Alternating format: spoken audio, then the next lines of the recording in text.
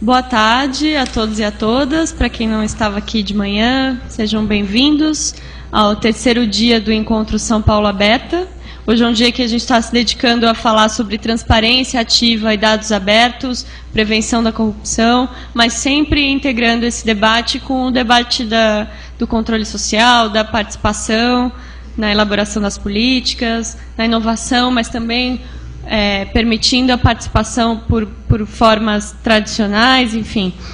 É, esse debate São Paulo Aberta está acontecendo desde quarta-feira, tudo está sendo registrado e transmitido pela internet. Depois vai ser disponibilizado nos nossos canais, no site, no próprio site do evento e nos sites das secretarias que, que têm a possibilidade de colocar.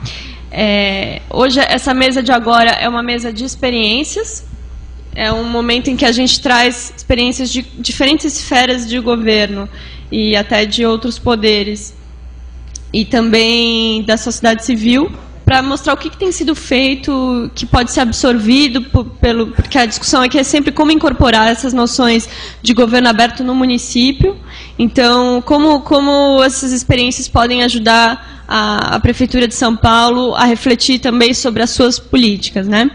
É, Para a mesa de agora, que já está começando com um atraso, a gente vai encerrar às quatro e meia. Para a mesa de agora, a gente tem quatro experiências. Eu vou chamar aqui para a mesa é, as pessoas que vão apresentá-las, né? Algumas delas têm apresentação ali de, de PowerPoint, né? Para ficarem posicionados ali. É, auditoria participativa então, chamar o André Luiz Marini Chagas, da Secretaria de Controle Interno da Presidência da República.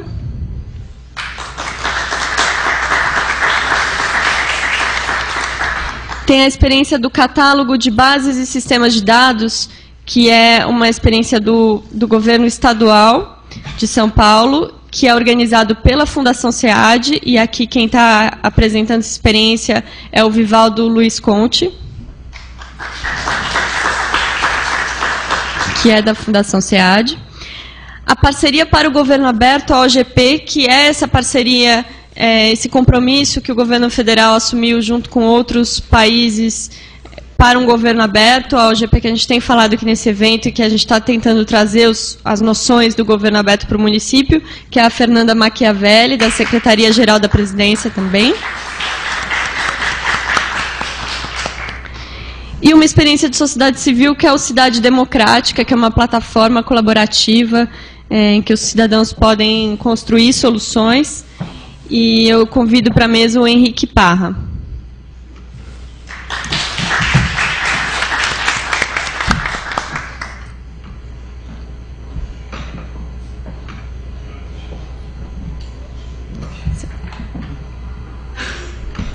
Bom, então cada um tem cerca de 10 minutos para apresentar a experiência, depois a gente abre para comentários e perguntas da plateia.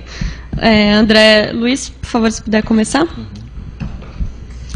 Ok, boa tarde a todos e todas. Uma satisfação grande estar aqui com vocês. Agradecemos o convite da Prefeitura de São Paulo. É, cumprimento os colegas integrantes aqui da mesa. E sem mais delongas, vamos iniciar, né, porque são dez minutinhos só. Eu não sei se já está no ponto ali. Apresentação. Isso.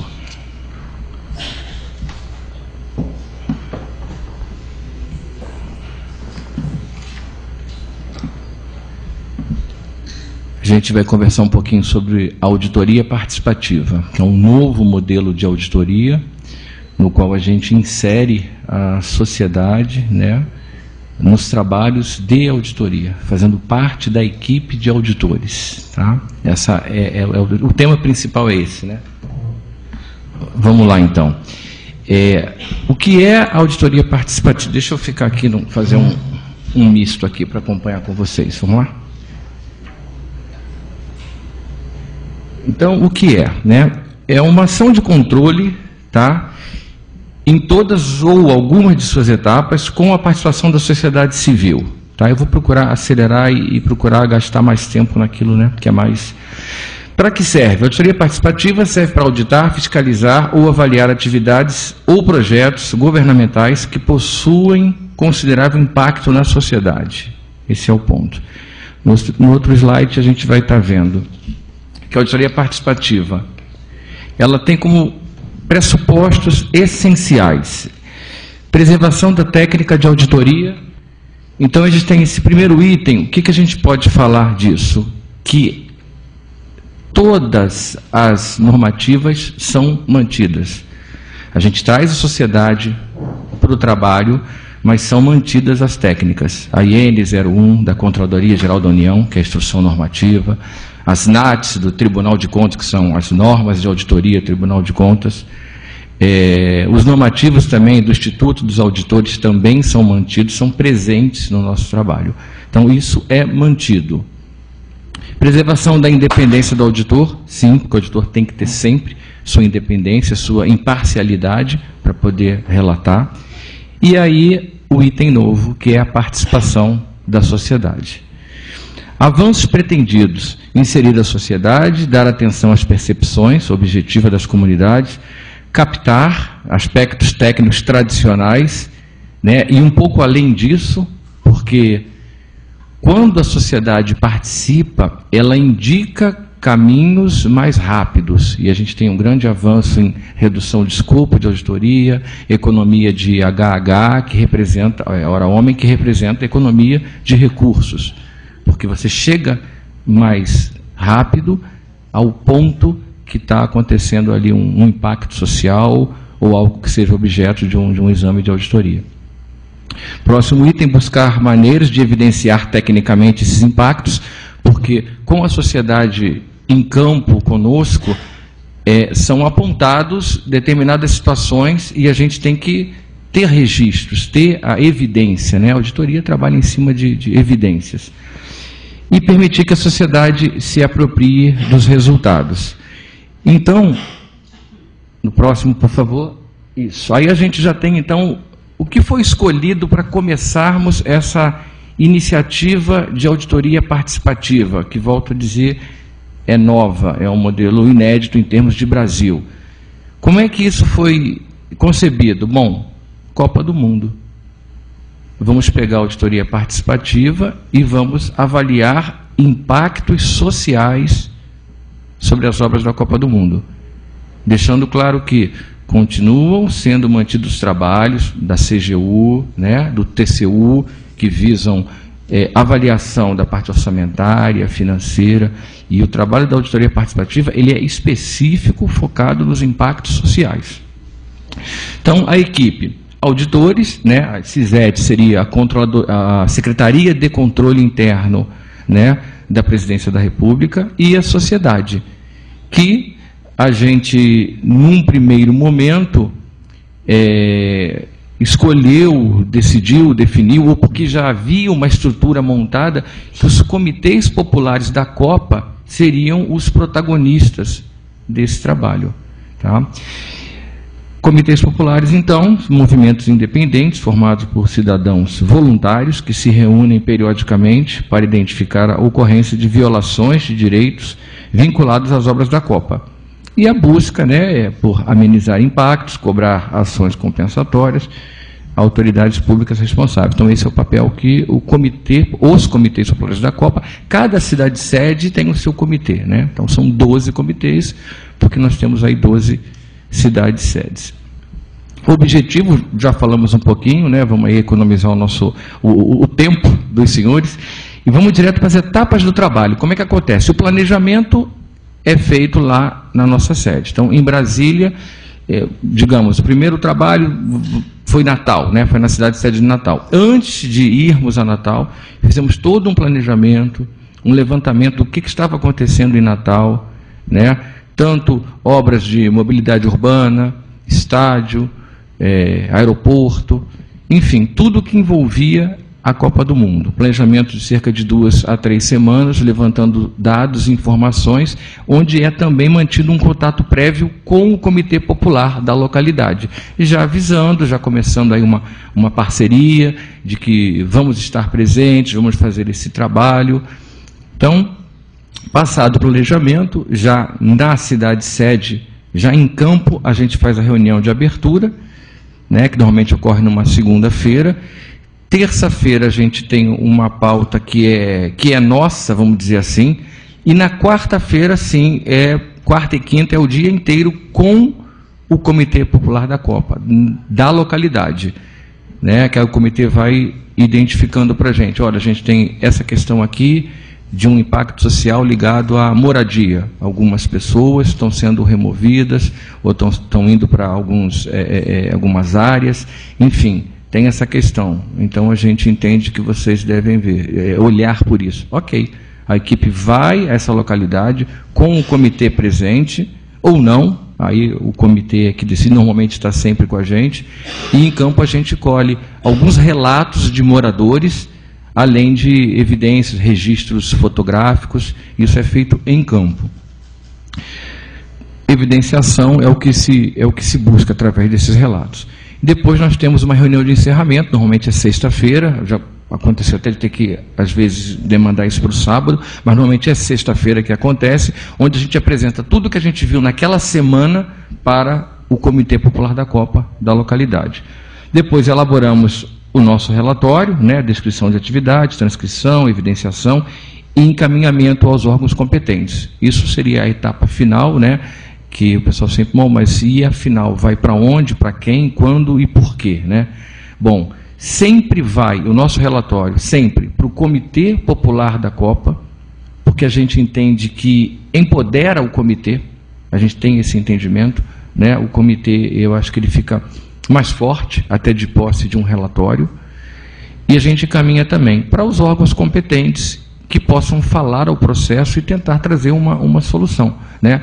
Ministérios, a própria Controladoria Geral da União, Ministério dos Esportes, né? sempre recebe Copa do Mundo, né?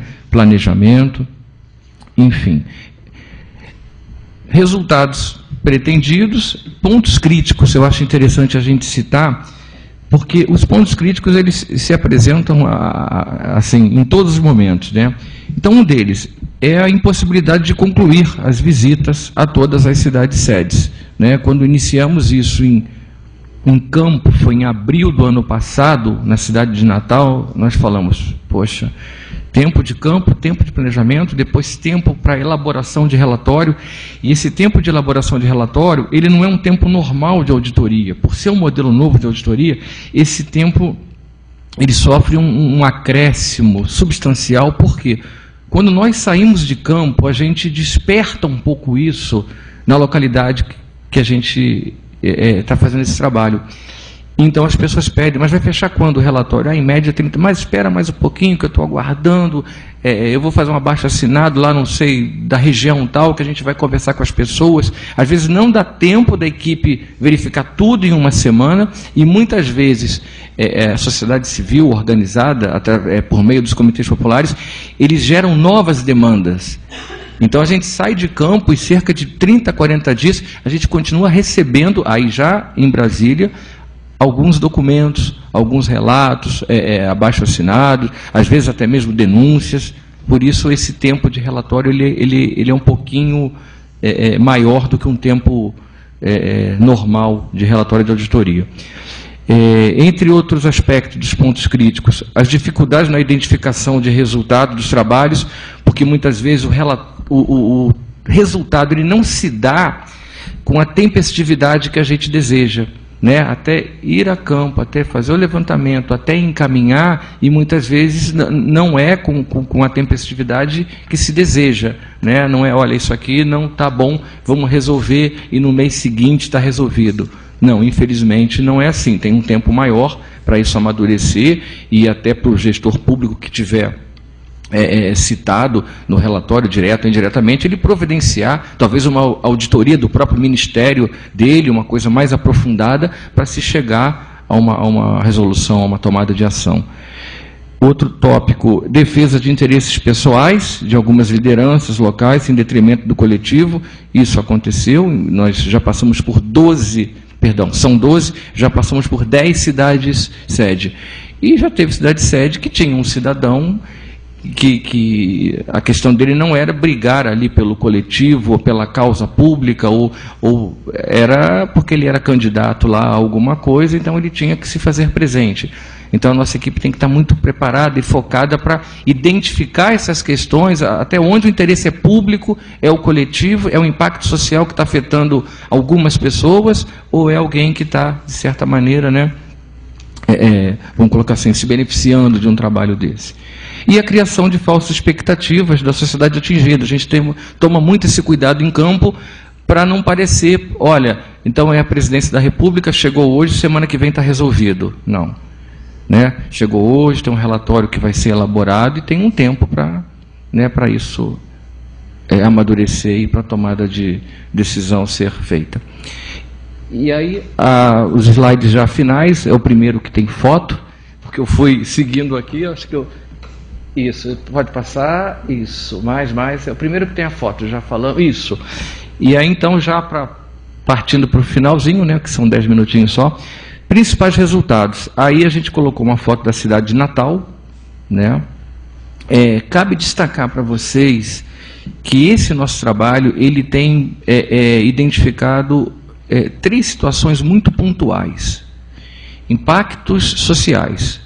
Primeiro, ligado à moradia, pessoas que estão sendo removidas em função das obras da Copa impactos sociais ligados ao trabalho, em função é, o estádio do Mineirão, né? Belo Horizonte é, é um, um, caso clássico, né? Que o entorno do Mineirão tinham ali ambulantes, né? Tinha feira de artesanato e, e não existem mais em função, né? Da, da, das obras da Copa.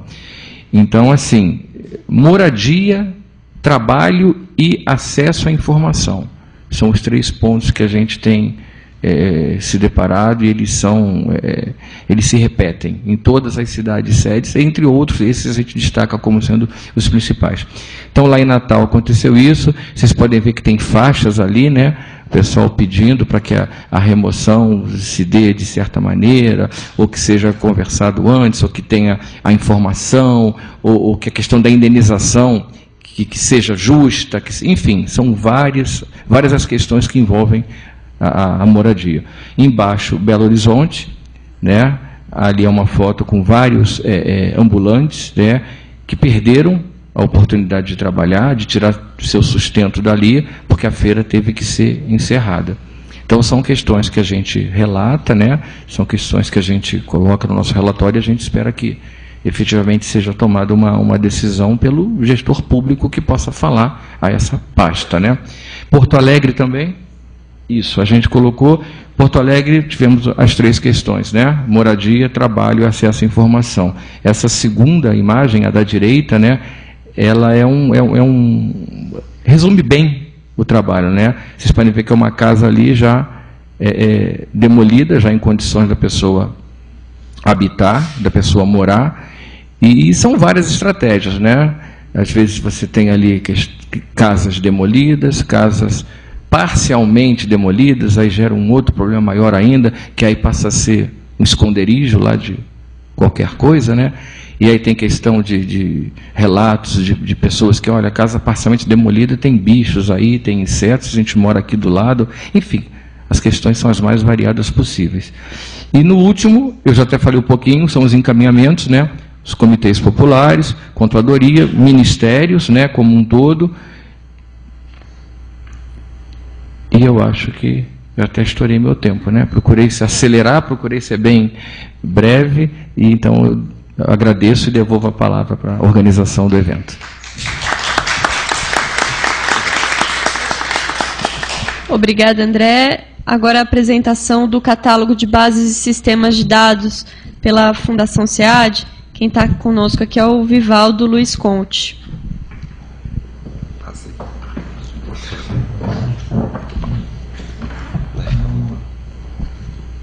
Obrigado. Uh, boa tarde a todos. É, agradeço imensamente o convite da Prefeitura uh, para ter a oportunidade de relatar um pouquinho a experiência do catálogo. É, deixa eu ficar um pouquinho de lado aqui para poder acompanhar. Bom, o, o, antes de falar propriamente do catálogo, é, é, importante dizer que o catálogo ele é fruto de uma série de iniciativas, ele vem na esteira de uma série de iniciativas tomadas pelo governo do Estado de São Paulo, é, é, pode mudar, por favor, a, a, isso. E várias dessas iniciativas, é, é, é interessante porque mostra a evolução né, da forma como o governo encara a disponibilização de informações à sociedade. Né? É, a próxima prancha, por favor. É, ali a gente está listando algumas iniciativas é, ao longo desses últimos é, 20 anos. Né? A primeira delas aí era a Guia de Oferta de Informações e Sistemas. Eu acabei de ver a Vera Tocairinha que nos encontramos aqui, a Vera que foi a artífice, a idealizadora desse produto. Né? Era um produto que levantava os sistemas de informações existentes dentro do governo do Estado de São Paulo para o governo do Estado de São Paulo. Né? Isso há 25 anos atrás. Na sequência, é, em 99, sai a Lei de Proteção aos, aos Usuários do Serviço Público. Reconhecia o direito do cidadão de ter informações sobre os serviços e de ter um serviço público de qualidade. Né? Informações sobre os serviços. Okay? Na sequência, aí já com o interregno mais representativo de 10 anos, né, vem uh, um decreto sobre a política de eh, inovação na gestão pública, né, que visava tentar mudar, através de treinamento, a cultura do funcionalismo, no sentido de inovar, compartilhar e colaborar nas suas atividades. Né. Depois vem o governo aberto, né, que já é na, no, na, na, nos modos do, do os vários Open Data, das experiências do Open Data. Né? O portal Transparência, em 2012, que traz uma série de informações financeiras né, sobre o Estado de São Paulo. E, finalmente, a, a LAI, né, o decreto de 58052, que é, regulamenta a aplicação da LAI no Estado de São Paulo. É, só quer dizer que a Fundação SEAD executa, faz o levantamento do catálogo. Né?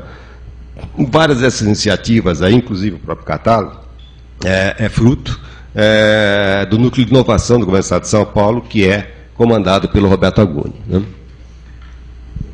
Próxima. Bom, é, por favor, pode passar. Mais uma? Ok. Mais uma ainda. Outra? Ok. Escorrer um pouquinho. Mais uma, por favor. Ainda mais uma. É, bom, então, o artigo 26 do decreto 058.052 institui o catálogo. Né? A ideia dele é muito simples. Bom, a lei diz o seguinte: todo cidadão tem direito a acesso da informação que está sob a guarda do governo. Muito bem. Como é que o cidadão vai solicitar essa informação sem saber que informação existe? Né? Então a ideia foi essa, quer dizer, levantar, né, o, o, hoje a forma predominante de armazenar informações né, é ah, no meio eletrônico, bancos de dados. Né? Então, a gente partiu do princípio que precisamos listar todos os sistemas eh, que, de informação armazenados, ancorados em bancos de dados, né? que tivesse um sistema gerenciador de bancos de dados e que dissesse respeito à atividade fim do órgão. Né? Não interessa muito ao cidadão ver os meandros, o que, que, o, que o órgão tem que fazer internamente para chegar, para desenvolver a sua atividade fim. Né? Então, essa que foi a, a ideia é, do principal do catálogo. E a forma de, de que a gente encontrou para é, alimentar o catálogo, a gente reproduziu uma experiência que a gente já teve com o Cidadão SP, né, que é o, o, o, site onde estão é, relacionados os serviços públicos prestados pelo governo do Estado de São Paulo, é montando uma rede de colaboradores né, que alimentam um formulário na web, com uma série de campos, né, ah, eles preenchem esse formulário e isso vai direto para um site. Né? É, eles têm, eles, é, são, eles têm um período para atualizar de três meses, eles não entram a cada três meses naquele formulário. Nós temos uma equipe de campo que vai cobrando e vai perguntando o que está acontecendo, né? de maneira que a gente garante uma atualização é, sistemática desse, desses, dessas informações. É, por favor, pode passar. Tá ok, mais uma, por favor. De novo. Tá. É, bom, é, os desafios, então, do catálogo, só tentando resumir, né, é dar conhecimento à sociedade né, das informações que o governo do Estado de São Paulo dispõe para que o cidadão possa solicitar essas informações. Okay? É, e consolidar, né, tentar, se não consolidar, talvez seja muito ambicioso, mas é, contribuir né, para a evolução dentro do, do, do, da gestão pública da cultura de disponibilização da informação. Tá? Por favor. Bom, é, o catálogo, ele, a gente começou com esse nome de catálogo, mas recentemente, alguns meses atrás, ele foi fundido com o governo aberto. Né? A gente percebeu que nós estamos falando de um, uma relação de, de bases, né? E, e, havia também o site do governo aberto. Então a gente resolveu fundir essas duas, esses dois produtos, né? Então o catálogo está dentro do governo aberto. Vocês vão ver que tem alguns probleminhas aí, né, para ele se tornar um governo aberto, né? Mas a gente relata isso agora. Então essa é a página inicial do site, por favor. Né? E aí tem um sistema de busca, né, onde a pessoa pode procurar pelo nome da base, né, pela secretaria, né, uma série de campos aí, né, que ele pode procurar, ele forma uma busca, ele vai encontrar, a, a, a, se a base estiver relacionada, ele vai encontrar a base que procura. É, hoje nós temos 379 bases. Né, vale também ali uma, uma, uma observação. A adesão, né, ela nunca é a roda, de roldão, né? ela sempre é um processo. Né? É, na experiência anterior do cidadão, a gente começou, nos primeiro, no primeiro ano, a gente tinha apenas, nos primeiros dois anos, a gente conseguiu 400 serviços. Depois de cinco, a gente tinha 2 mil. Né? Então, o, o, catálogo tem pouco mais de um ano, nós estamos hoje com 380 bases. É alguma coisa significativa. Agora, vocês notem o seguinte: é, a gente tem no segundo campo ali é, a questão da restrição. Né? É, quantas bases não tem nenhuma restrição? Vocês vejam que tem 200 bases, não há nenhuma restrição de acesso, portanto, pode ser solicitado sem nenhum problema. Outras ali que eu não consigo ver o número, mas é um, se não me engano são 35, tem uma restrição total, e outras 144 tem restrição parcial. Né? Essas restrições parciais dizem respeito basicamente à identificação das pessoas, né? basicamente isso. Né? Por exemplo, aí a, a, primeira base é o acesso a São Paulo, né? que é aquele serviço de acesso à internet, onde as pessoas colocam seus dados pessoais lá. Portanto, essa parte da base é sigilosa, ela não pode ser divulgada. Né? É, vejam, vejam também que naquela parte inicial, a gente tem lá a relação das bases que estão disponíveis para download, ou seja, aquelas que se, é, a gente pode chamar que fariam parte do governo aberto. Veja que são somente 22. Né? Então a gente tem 200 bases que estão sem nenhuma restrição de acesso mas disponível para download, que a gente possa baixar, ou possa usar uma API, ou possa fazer qualquer coisa disso, diretamente, são só 22. Não é? Então, é, é, mostra, de um lado, a, a dificuldade né, da, da, da, dos órgãos, né, porque para disponibilizar do governo aberto tem que ter um dicionário de dados, tem que ter toda uma série de informações para permitir que a pessoa possa processar a base de dados. Né? Então mostra esse tipo de dificuldade e mostra também um pouquinho ainda da, certamente da resistência, né, em, em que essas informações sejam disponibilizadas. Né. Então é um processo também a ser construído, a ser percorrido. Né. A próxima, por favor. E aí então essa é a ficha né, do, do, do, do do, que a pessoa, quando ela encontra a base, ela vai ter uma série de informações dessa base. Eu não vou aqui percorrer todos os campos, mas basicamente é o nome da base, né, o órgão que, a qual essa base está é responsável por essa base, a descrição do conteúdo dessa base, né, os principais campos, a existência de sigilo ou não. Né, por favor, a próxima, a próxima tela. É, se ela é georreferenciada ou não, se ela está disponível é, para. Se ela tem sistema de consulta, né, e qual é o endereço, se ela está disponível para download, qual é o endereço. Né. Então é uma coisa bem simples. É, a próxima, a próxima, por favor. Aí, na, na, na própria, na própria base, tem a, o, o nome do responsável pela base, e que a pessoa pode entrar em contato e tirar qualquer dúvida sobre o conteúdo, forma de acesso e tudo mais. Né? É uma coisa importante, essas 200 bases, embora não estejam disponíveis né, é, aí para download, é, existe o serviço, é, a lá instituiu também o SIC, né, Serviço de Informações ao Cidadão existe o governo, e a Prodesp desenvolveu o sistema chamado ESIC, ou seja, pela internet, onde a pessoa pode solicitar essas informações e aí entra né, nos prazos previstos pela lei. Ok? Mais uma. Bom, aí estamos chegando já, estou tentando ser o mais objetivo possível, a gente está chegando já no final da apresentação. Né? Então, muito obrigado, era um pouco isso que eu queria mostrar. Obrigada, Vivaldo. Então, experiência interessante do governo do Estado. O governo do Estado de que a gente tem notícia, eu acho que é o único decreto é, de regulamentação da Lei de Acesso à Informação que previu um catálogo, né, que obrigou a, o poder público a fazer um catálogo como esse. O nosso decreto municipal não prevê isso, de dezembro de 2012. É, porém, uma das ações que a Controladoria Geral do município está fazendo atualmente é reformular o decreto, né, é, atualizar esse decreto de acordo com as, as necessidades é, da cidade e, principalmente, estudando a inclusão de um catálogo de bases de sistemas de dados também no nosso decreto municipal. Por isso que é, é muito importante a gente aprender também com essa experiência da, da Fundação SEAD.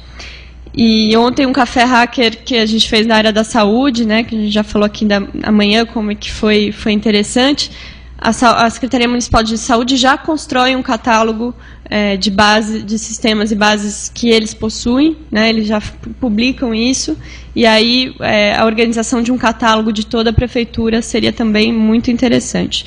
E eu passo agora a palavra para Fernanda Machiavelli, da Secretaria-Geral da Presidência, para falar sobre a parceria para governo aberto, a OGP, os mecanismos né, de diálogo que a parceria criou para a interlocução com a sociedade. Obrigada, Fernanda. É, tem uma colinha aqui, porque senão eu vou ficar com torcicolo. Então, eu queria, bom, boa tarde a todas e todos. Eu queria primeiramente agradecer o convite da Prefeitura de São Paulo, que, enfim, foi feito pelo, por meio da Secretaria de Direitos Humanos e Cidadania e da Secretaria de Relações Internacionais e Assuntos Federativos. Queria saudar né, a iniciativa da Prefeitura de São Paulo, que já começa bastante forte, né? São seis secretarias já envolvidas no processo de organização desse evento e da parceria para o governo aberto, entre elas a, a Controladoria Geral é, do município. Então, quer dizer, a, a, a, parceria, o governo aberto, né? no município já começa bem mais forte, com mais secretarias engajadas do que foi o começo no governo federal, o que já é, vai permitir realmente que também seja impulsionado de forma ainda mais rápida. No, eu vim aqui para contar um pouquinho de como que foi o processo de construção do plano de ação do Brasil na parceria para o governo aberto. É, e aí, para isso, eu vou iniciar explicando um pouco o que, que é a parceria para o governo aberto. Né? Ela é um, na verdade, é uma, é uma parceria que envolve 58 países atualmente, que iniciou, que no início, né, quando ela foi fundada, é, em 2011, ela partiu de uma iniciativa do governo americano e do governo brasileiro, que presidiram, co-presidiram essa iniciativa no primeiro período, depois passaram a bola né, para o Reino Unido, depois para a Indonésia. Enfim, é uma presidência rotativa e compõe esses 58 países, é, que tem como principal finalidade promover iniciativas nas áreas de transparência dos governos, acesso à informação e participação social ela, logo no início, né, para você fazer parte dessa parceria, o que o país precisa fazer é apresentar um plano de ação. Então, um plano de ação que, que envolva compromissos que devem ser atingidos num determinado prazo de abertura dos governos nas suas várias dimensões. É, pode tem, tem dois, assim, ele é baseado em alguns princípios, que, é, que são transparência, participação social, é accountability, né, responsabilização, prestação de contas, e inovação e tecnologia. Isso orienta todos os compromissos é, da parceria. E, além disso, ele tem aí cinco, seis desafios, que são melhoria da prestação de serviços públicos, perdão, cinco, o aumento da integridade pública, a gestão mais efetiva dos recursos públicos, a criação de comunidades mais seguras e o aumento da responsabilidade corporativa. Bom, cada país também faz uma interpretação sua do que, que seria é, a promoção do governo aberto. Então, no, no caso do governo federal, foram instituídas duas instâncias inicialmente de governança. Uma delas é um comitê composto por 19, é, por 18 órgãos, que é o SIGA, que é esse Comitê Interministerial para Governo Aberto, e um grupo executivo que é composto por seis órgãos, que são a Controladoria Geral da União, a Secretaria Geral da Presidência, a Casa Civil, o Ministério da Justiça, o Ministério da Fazenda e o Ministério das Relações Exteriores, e é coordenado pela Controladoria Geral da União. A gente, assim, a primeira tentativa, a CGU teve um prazo bastante curto para elaborar o primeiro plano. O primeiro plano foi feito. É, pra, no próximo slide, ele, como vocês vão ver, o primeiro plano ele tinha 17 compromissos da CGU 12 compromissos do planejamento e mais um compromisso ou outro de outros ministérios. Ou seja, estava muito concentrado nesses dois principais patrocinadores da iniciativa. O Ministério do Planejamento, que é responsável pela política de dados abertos, e a Controladoria Geral, que é responsável pela política de transparência e prevenção da corrupção. É, bom, esse plano recebeu críticas bastante, é, é, bastante severas da sociedade civil por conta da sua ausência de um processo aprofundado de participação social. Então, a crítica não era exatamente para o conteúdo dos compromissos, que eram considerados relevantes, mas pelo fato, um, desses compromissos não serem suficientemente abrangentes, ou seja, não comprometerem todo o conjunto do governo, e dois, não terem sido feitos por meio de uma consulta à sociedade. Essas críticas chegaram à Secretaria-Geral da Presidência da República. A Secretaria-Geral tem como compromisso, como a sua, a sua principal missão, promover a participação social como método de governar. E isso, como todos vocês sabem, como a Prefeitura sabe, é uma mudança cultural, uma mudança de como o gestor público, como dirigente, como burocrata entende a sua própria função e seu papel. É, então, ele é um, é um processo que está em curso, né, e a gente sabe que tem muitos avanços. Hoje a gente tem vários instrumentos consolidados para a construção de políticas, são as conferências é, de políticas públicas, os conselhos, que, são, que hoje são 36 no governo federal, as conferências, que já estamos agora na, na, já são 93 conferências, agora com essa última do desenvolvimento rural sustentável, nos últimos 10 anos, tem as mesas de diálogos, enfim, tem uma série de instrumentos. Mas o que a gente percebeu a partir dessa demanda que chegou na, da sociedade civil é que a gente precisava desenvolver uma nova tecnologia de participação social, que a gente chamou de planos de participação e mobilização social. Que era o quê? A gente conseguir é, promover a participação em iniciativas e programas estratégicos do governo. A UGP era uma dessas iniciativas, então, no, logo no evento de lançamento, a gente teve uma grande conferência sobre isso, teve um grupo de trabalho onde a sociedade civil é, cobrou um, uma reformulação do plano, disse que não se reconhecia né, naquele plano, e aí, a partir disso, juntos, a gente resolveu construir uma nova caminhada para fazer o segundo plano de ação do Brasil na OGP, e aí sim, construído a partir da, das demandas da sociedade.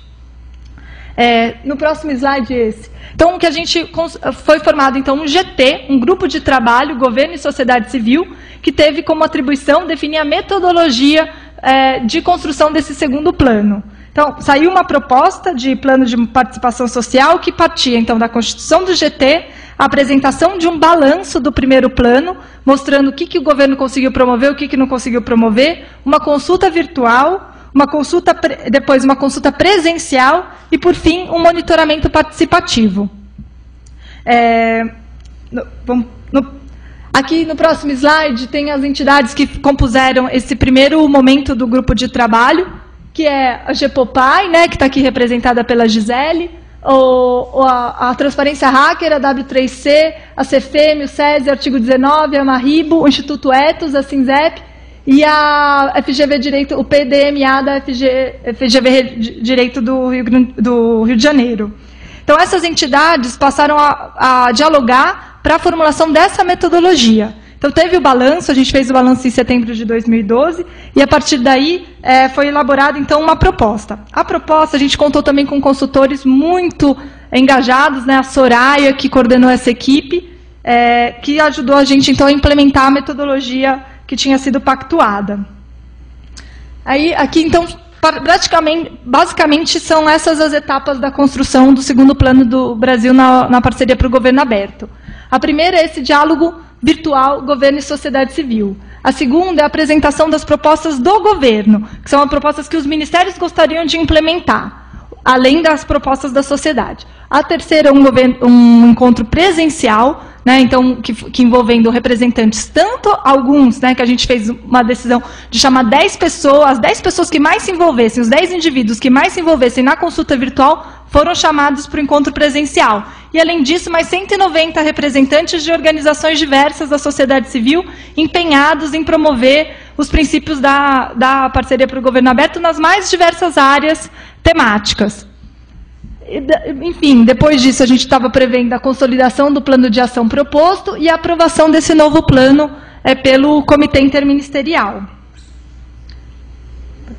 Bom, é, a, ideia, né, esse é um pouco do mapa conceitual né, que foi elaborado, a ideia era difundir e debater os princípios da parceria para o governo aberto e fomentar a participação da sociedade civil na revisão e monitoramento do plano. E a partir disso a gente tinha como ideia né, conseguir essa, extrair desse processo de consulta 30 propostas de compromissos para o próximo plano de ação brasileiro. E com isso conseguir é, construir um plano de ação que pudesse ser acompanhado e monitorado pela sociedade. O processo de consulta virtual foi um grande aprendizado para a Secretaria-Geral, para a Controladoria-Geral da União e para o governo federal como um todo. Naquele momento, o governo federal ainda não contava com uma plataforma própria para esse tipo de consulta. Então, a gente utilizou o e-democracia, que é a plataforma de consulta da Câmara dos Deputados, que foi de grande ajuda. Foram constituídos ali cinco. É, foram constituir, a gente constituiu cinco eixos temáticos, a partir dos cinco temas da, da OGP, a gente abriu cinco fóruns, cinco fóruns de debate, e introduziu lá também as propostas que vinham da conferência do controle social, né, que é a Consocial. Então, essas propostas que tinham as características de uma proposta do governo aberto, que é assim, tem que ter é, tem o, é, o, o, eu quero também desafiador para quem está construindo de forma participativa os compromissos do governo aberto é que elas, os compromissos são diferentes de resoluções de conferência, que as resoluções de conferência são mais principiológicas. Elas têm, na verdade, uma demanda que ainda não está expressa em termos concretos. Então, por exemplo, lá, citando, só para dar uma ideia, a, a Conferência de Juventude, a principal resolução, a de 2008, era o combate ao extermínio da juventude negra. Então, era, na verdade, é um princípio, é um norte, um orientador. No compromisso do OGP, a, a coisa tem que ser muito concreta. É assim, é, é implementar um plano de enfrentamento à violência contra a juventude negra em tantos municípios em tal prazo. Então, ela precisa ter uma característica mais é, que seja monitorável, que a gente consiga acompanhar. Então, para isso também fazer isso no, no, no, espaço virtual também era desafiador. Então, a gente abriu esses cinco fóruns, incorporou as resoluções da conferência que tinham uma concretude maior, já dentro desse processo de discussão. Contratamos cinco mediadores é, especializados, que eram acompanhados por cinco funcionários da CGU para fazer a parte é, do conteúdo. Então, a CGU tinha técnicos ali que não eram exatamente especialistas em mediação de debates, mas eles tinham o conteúdo do OGP. E, por outro lado, você tinha os mediadores que eram especialistas em mediação, que conseguiam fazer, orientar a discussão de forma tal que ela é, chegasse ao produto que a gente esperava, que eram compromissos bastante específicos que pudessem é, ser depois implementados e monitorados. Esse, essa experiência foi muito interessante, ela foi dividida. Pode passar mais um. Então, essa primeira parte é como a gente fez na consulta virtual. Eu acho que é uma metodologia que é bastante válida, a gente já replicou em outras ocasiões. Primeira parte foi a sociedade civil apresentar livremente as suas propostas. A segunda, o segundo momento foi a sistematização dessas propostas. Ah, então, eram em dois ambientes. Uma sociedade estava apresentando suas propostas, em um outro ambiente, os ministérios também estavam apresentando propostas que eles achavam que tinha a ver com o governo virtual, pra, com o governo aberto, para a sociedade civil comentar. Bom, no segundo momento foram sistematizadas as propostas da sociedade pela própria sociedade, a partir das perguntas que os mediadores iam colocando, para que aquelas propostas que às vezes eram um pouco difusas conseguissem ficar no formato específico de um compromisso.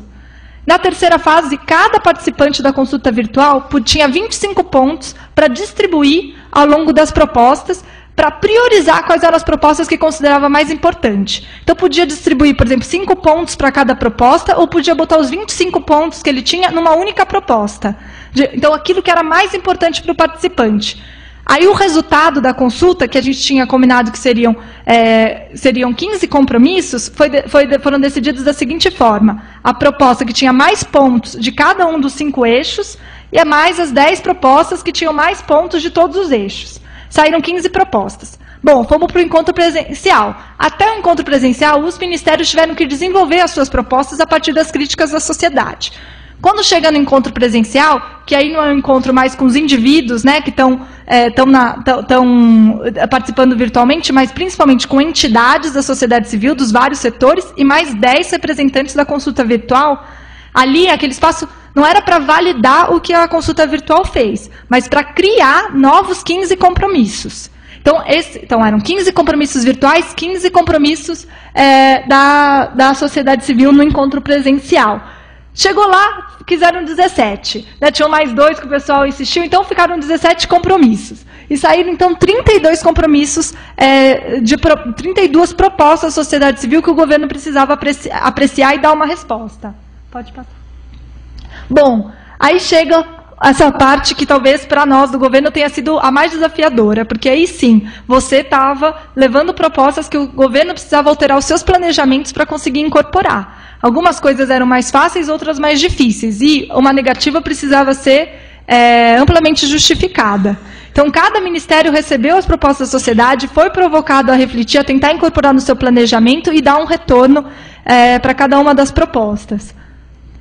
E aí, finalmente, né, a gente teve a, essas, essas respostas foram submetidas ao SIGA. Antes disso, a gente teve a CGU, que teve um papel muito importante de avaliar a pertinência de cada uma das propostas do governo, porque chegaram muitas propostas, então conseguiu enxugar isso para realmente estar lá o que tinha a ver com, com o governo aberto, o que o governo estava propondo, e também forçar os ministérios a se abrirem. Falar, não, mas você está falando não, mas esse não não é não é suficiente. Por que não? Porque não dá para fazer assim e tal, de um jeito que a gente conseguisse aumentar o número de propostas da sociedade civil que fossem incorporadas.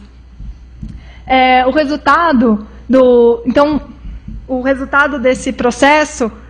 Deixa eu ver onde é que eu aqui. O resultado desse processo, então, foi o seguinte, né? A gente aumentou, no primeiro momento, para 45 compromissos, 15 advindos da sociedade civil, 7 ficaram para avaliação é, interna do governo. Eram compromissos que não tinham consenso entre pastas. Então, por exemplo, que a Secretaria-Geral queria incorporar, mas que a Casa Civil não queria incorporar. Então, a gente teve que sentar o governo dentro, eh, sentar realmente entre os órgãos de governo para conseguir é, dar uma saída para aquelas sete propostas. E as sete foram incorporadas. Então, no final, a gente ficou com 52 compromissos, contemplando 19 sugestões da sociedade civil. E distribuídos dessa forma aqui, como está no quadro. Né? É, pode passar. Eu citei aqui as 19 sugestões da sociedade civil que foram incorporadas. Claro que eu não vou falar uma a uma, é, de fato elas estão bem pequenininhas, mas eu destaquei aqui algumas que têm a ver com o que está rolando agora. Né?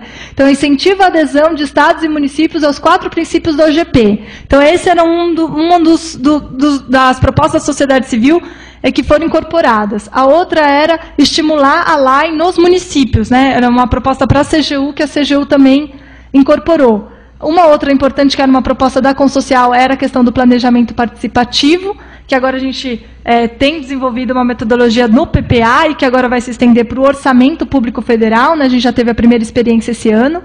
E a questão da garantia do direito à consulta prévia na Convenção 69 da OIT, que, é, que tem a ver, então, com a consulta aos povos indígenas e às comunidades e povos tradicionais antes da realização de qualquer obra de infraestrutura em territórios das populações indígenas e comunidades é, tradicionais, que era um compromisso que foi sugerido pela sociedade civil que, que, e que foi acolhido pela Secretaria-Geral, pelo Ministério, é, que a regulamentar essa consulta, né, pelo Ministério da Justiça e pelo Ministério das Relações Exteriores. Então, uma série de propostas, algumas né, que eu citei, essa que é, são mais desafiadoras e que foram também é, contempladas.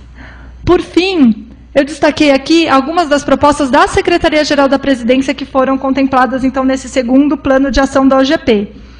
Uma delas, que é a que eu acabei de citar, que é a questão de aprofundar o processo de participação, não só no PPA, que é uma coisa que a gente consolidou, né, mas agora avançar para a elaboração do orçamento. Então, esse é um desafio que a gente já colocou em prática. A gente tem pela primeira vez uma LDO que sai de um processo de consulta. Então, consulta com um, um, uma consulta virtual e uma LDO, Lei de Diretrizes Orçamentárias, que já incorporou uma série de propostas das organizações da sociedade civil.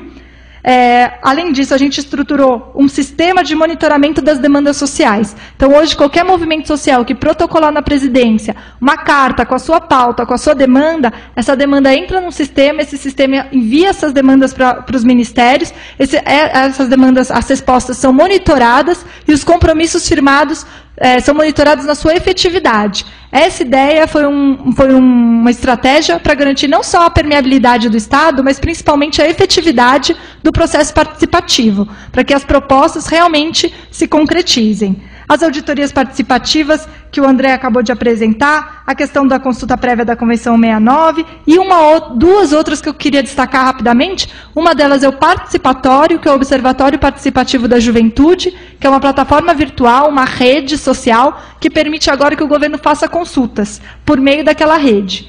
E isso é para a juventude, para políticas de juventude. Mas agora, no, no final de novembro, nosso compromisso é lançar o portal participa.br, que será uma grande plataforma de, de participação com várias comunidades e debates estimulados pelo governo para tomada de decisões. É, ela vai, exemplo, então a partir disso a gente não vai mais precisar usar o e-democracia, a gente vai ter uma própria plataforma e vamos, a gente vai estimular debates nas mais diversas arenas, desde Copa, agroecologia, é, é, mais médicos, enfim, cada tema que aparecer, que tem um tá, tá, reverberando na rede social, a ideia é realmente a gente abrir um processo de diálogo, escutar, fazer um processo de escuta para aperfeiçoar e definir os rumos é, das tomadas de decisão no interior do governo. Então, esses são os compromissos da Secretaria-Geral. É, e, por fim, eu vou, vou destacar aqui é, Obviamente, esse processo teve um grande avanço, mas ele está longe ainda de ser perfeito. Agora mesmo a gente vai ter a apresentação do segundo plano do Brasil na OGP, e o segundo plano do Brasil da OGP também está sofrendo críticas. Né? E a crítica agora, nesse momento, a gente estava até conversando nisso antes de começar, é a questão de que, embora o plano tenha sido aprovado, com a presença da sociedade civil, ele até agora não foi publicado. Então, ele, ele a, a, o compromisso da CGU é publicar esse plano até era até hoje, né? A gente espera que até no máximo domingo, que é quando o pessoal vai para Londres, é que esse plano esteja publicado. Ele sofreu um atraso porque, depois de aprovar na CGU, a gente precisava coletar a resposta um a um dos ministérios. Então, cada ministério, cada ministro precisava enviar um aviso ministerial dizendo que estava ok com o conteúdo daquele plano. Isso demorou mais do que fazer todo o processo de consulta virtual, porque a burocracia conseguiu os ofícios, benditos avisos ministeriais de 19 ministros. É, foi um processo trabalhoso. Então, com isso, a gente teve um adiamento da publicação que criou é, é, um, um, um, estremecimento né, na relação de confiança da sociedade civil com o trabalho. Então, eu estou falando isso com bastante clareza, porque a gente sabe do nosso compromisso, a gente é, tem certeza que isso aí vai ser resolvido. E que agora, por isso eu destaquei aqui o monitoramento do plano de ação, que a ideia agora é que esse plano seja monitorado por um sistema online e por reuniões periódicas do SIGA com os membros da sociedade civil, num grupo de trabalho que dessa vez vai ser institucionalizado, porque até então era um grupo informal. Esse grupo vai passar a ser institucionalizado, ter representantes é, designados por portaria e vai ter um trabalho realmente reconhecido formalmente.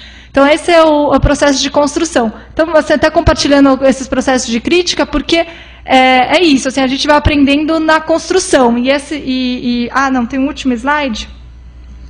Para encerrar, que eu só destaquei os grandes avanços que eu considero que, é, que a parceria para o governo aberto permitiu dentro do governo. Primeira questão é a ampliação da participação social essa questão das novas práticas e metodologias, e principalmente a ideia da metodologia de construção virtual, que para a gente foi bastante inovadora, né, nesse módulo né, de construção de compromissos.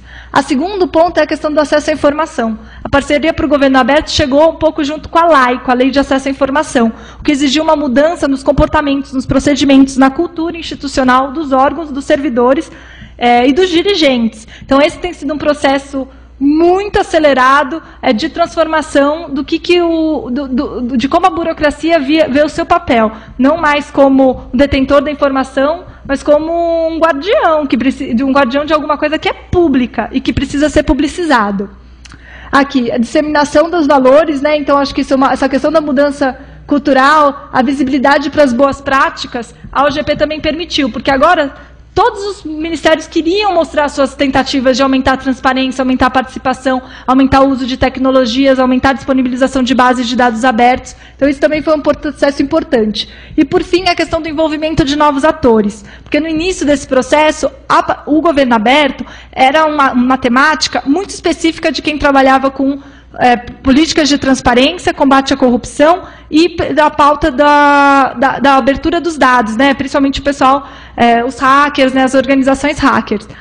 Com esse processo, a gente conseguiu envolver uma série de outras entidades que perceberam que governo aberto pode beneficiar a sua temática. Então, desde das movimentos feministas, que pediram, então, a utilização é, de, de, dados abertos da, no controle da, da, Maria, da Lei Maria da Penha. Então, quer dizer, a disponibilidade dos dados das delegacias para eles conseguirem depois reformular esses dados e fazer interpretações outras e tal. Então, isso foi uma das propostas que apareceu. Então, desde outros movimentos na área da educação, da saúde. Então, o pessoal da educação queria os dados do INEP em formato aberto. E várias outras demandas que foram aparecendo, que contaminou, então, os vários setores da sociedade civil que perceberam que essas, esses princípios são, na verdade, meios né, para alavancar as diversas lutas e as diversas causas é, da sociedade civil, então, envolvendo vários outros atores. Então, esses eu acho que são os principais pontos aqui de aprendizagem organizacional para o governo federal. Eu acho que a gente ainda tem bastante para avançar, mas, sem dúvida, foi um impulsionador de, de mudanças e de avanços no interior do governo e, e, e também para a sociedade. Então é isso. Obrigada. Obrigada, Fernanda. Essa experiência que ela menciona do participatório foi apresentada aqui ontem, na mesa de ontem. É, e a OGP, como ela disse, ainda não prevê, tem esse compromisso de incentivar os estados e municípios a aderir né, aos compromissos, mas não existe ainda um mecanismo formal né, de adesão de municípios a esse processo. Então, o que está acontecendo agora nesse, nesse evento é a, a Prefeitura de São Paulo se mostrando aberta e disposta a incorporar no seu método de governo também os princípios da, da parceria e, e, e todos os princípios de governo aberto. Então, essa é uma discussão e uma construção que tem que ser feita e pode caminhar também para compromissos e, e, e adesões desse tipo. Né? Mas é um, é um começo de conversa. E justamente para colar essa conversa com, com o processo da parceria para o governo aberto, que a gente fez muito próximo da data do encontro de Londres, né, que vai, vai ser na semana que vem. Né? Então, isso é um, um caminho, uma construção que a gente pretende fazer. É, antes de passar para o Henrique Parra, é, as inscrições para fala estão abertas, tem ali o Igor que está tá posicionado, pedir para fazer as inscrições com ele e depois a gente volta para a mesa. Então, Henrique. É, obrigado, boa tarde a todos. Eu sou Henrique, Henrique Parra, do Cidade Democrática. Cidade Democrática, até pegando, vou, vou, minha fala vai ter bastante gancho com a da Fernanda, né? É, então, pegando um primeiro gancho, ela estava contando do Participatório, que é uma rede social para participação social voltada para a política pública de juventude, né? E que atua como rede mesmo, é, menos pautando os debates, mas pelo contrário, tentando identificar nessa comunidade quais são os debates mais quentes, né? Para daí sim construir decisões de governo, mesmo que seja discussão da equipe, que já é uma decisão é, e o Cidade Democrática também é uma rede social. É um, uma plataforma de participação social, que fomenta a participação social e a construção de comunidades de colaboração para temas públicos.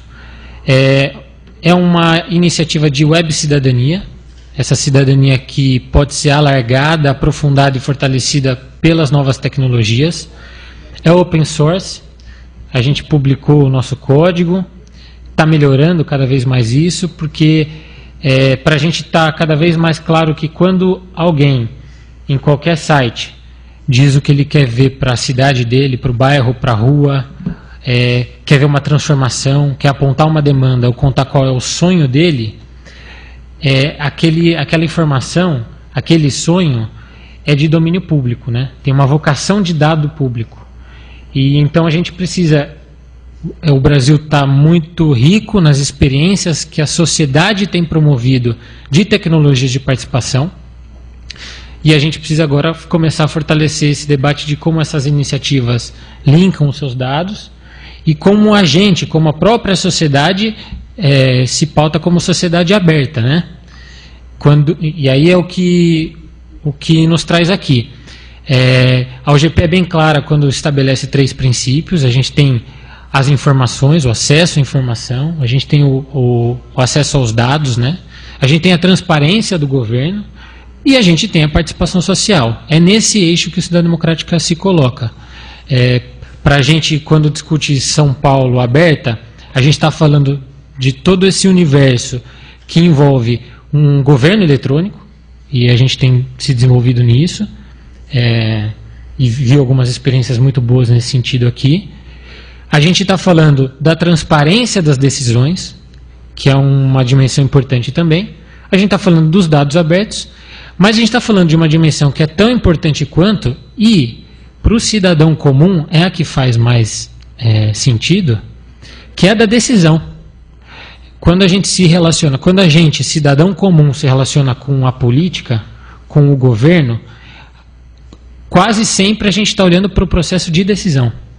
E quase sempre da microdecisão, da decisão da minha rua, do meu bairro. A gente pede, quando a gente se relaciona, para resolver problemas que nos afetam.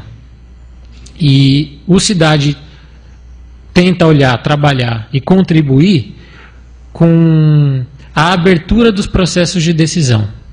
Como a gente constrói processos de decisão nos governos mais abertos, mais participativos.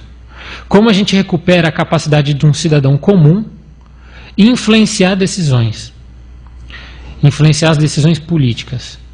Por outro lado, como que esses processos abertos melhoram e qualificam os subsídios que chegam para o tomador de decisão, porque a posição do tomador de decisão também é muito difícil, né?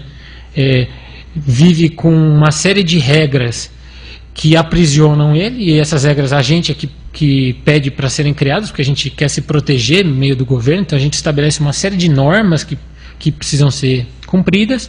Isso diminui um pouco o campo.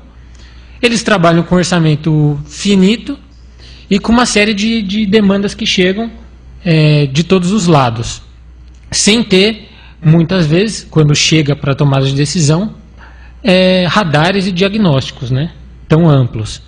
Então a gente tenta estimular a participação social com foco no resgate da capacidade de influência do cidadão comum, mas também aproveitando o que essas novas tecnologias trazem para a gente analisar as redes e as informações para gerar subsídio para essa tomada de decisão. O Cidade Democrática ele é uma plataforma aberta, como eu falei. A gente atua em alguns contextos diferentes. Eu vou trazer alguns deles, né? Acho que é, o objetivo é esse, compartilhar as práticas. A gente já atua em cidades como Jundiaí e Várzea Paulista, cidades próximas aqui da capital. É, em Jundiaí, num movimento ancorado na sociedade, em movimentos da sociedade que fazem controle social. Então, quando eu digo que a gente atua na decisão, na construção, na formulação de políticas, também tem isso. É dá para você atuar no controle social, ou seja, acompanhando as decisões e interferindo, é, acompanhando no sentido de depois construir sua própria ação, né? aprovar, desaprovar, interferir, etc., monitorar, fiscalizar, ou tentar participar já do momento de formulação, que é o início do, do, da tomada de decisão. Em Jundiaí a gente atua já há quatro anos com a sociedade organizada. O objetivo da cidade é até 2022 virar a cidade da participação social, chegar a 10% da população engajada nos processos de tomada de decisão e com, com, passar a, a adotar um, a participação social como um método de vivência, né? mais do que de governo até, de a gente viver participando, né? que é o, o que realmente faz a diferença. É, em Várzea Paulista, o processo foi a partir de sete anos de experiências participativas do orçamento participativo, resgate de conselhos, conferências, assembleias de bairro e tudo mais.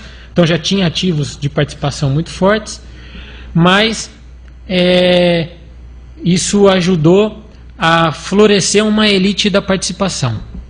Muito importante, mas foi detectado como alguns perfis de pessoas não vão em assembleias. E esse, isso é, é fato, né? É, basta ir numa sessão de Câmara Municipal, você vai olhar ali, você, você vê um tipo de, de, de, pessoas lá. Que, que são pessoas extremamente, às vezes, preocupadas com, com a cidade e que doam seu tempo para isso. O problema é que depois de sete anos em Várzea Paulista, quando você estava num evento como esse, você não via ninguém com menos de 18 anos. E lá 30% da cidade é jovem. Então, ligou um alerta, né? Tem um público grande, relevante, e não está participando, não está virando delegado do OP, por exemplo. Então a gente fez um processo tentando linkar toda a dimensão real, presencial, com a ferramenta, culminou num congresso da cidade, num formato bem parecido com a GP. Teve consulta online, consulta presencial, propostas vindo das duas. No final era um grande congresso da cidade que construiu o plano de desenvolvimento até 2022. É, depois a gente um outro um outro uma outra prática para compartilhar aqui é de São Paulo, então essa eu vou dar um pouco mais de destaque. É, é a construção do plano de bairro da Vila Pompeia. Então, em São Paulo, hoje a gente está no processo de revisão do plano diretor. Esse é um tema muito quente na cidade, tanto para quem participa e, e, e é mais engajado, quanto está no discurso, na narrativa do cidadão comum, quando ele diz que não aguenta mais prédio, quando ele diz que não aguenta mais trânsito, quando ele diz que o bairro dele está mudando totalmente. A Vila Pompeia tem tudo isso, trânsito, prédio está mudando totalmente. Tem 30 mil pessoas que vão mudar para o bairro nos próximos anos. Isso muda drasticamente o que o bairro é. E a gente construiu um plano de bairro de novo, nesse objetivo de estimular a participação social, ouvir quais são os sonhos dos moradores da Vila Pompeia e isso gerar um guia de oportunidades, que é um guia de oportunidades público. É, como o site é aberto e esses dados são públicos, isso vai favorecer a tomada de decisão do subprefeito, de vereadores, deputados que podem emendar, podem mandar emendas para ações, para intervenções como pode ser um guia de oportunidades para a sociedade mais engajada. Pode ser um guia de oportunidades para o centro cultural do bairro, para grupos é, sociais e coletivos sociais que atuam naquele bairro, para identificar onde eles podem intervir. Isso já vem acontecendo.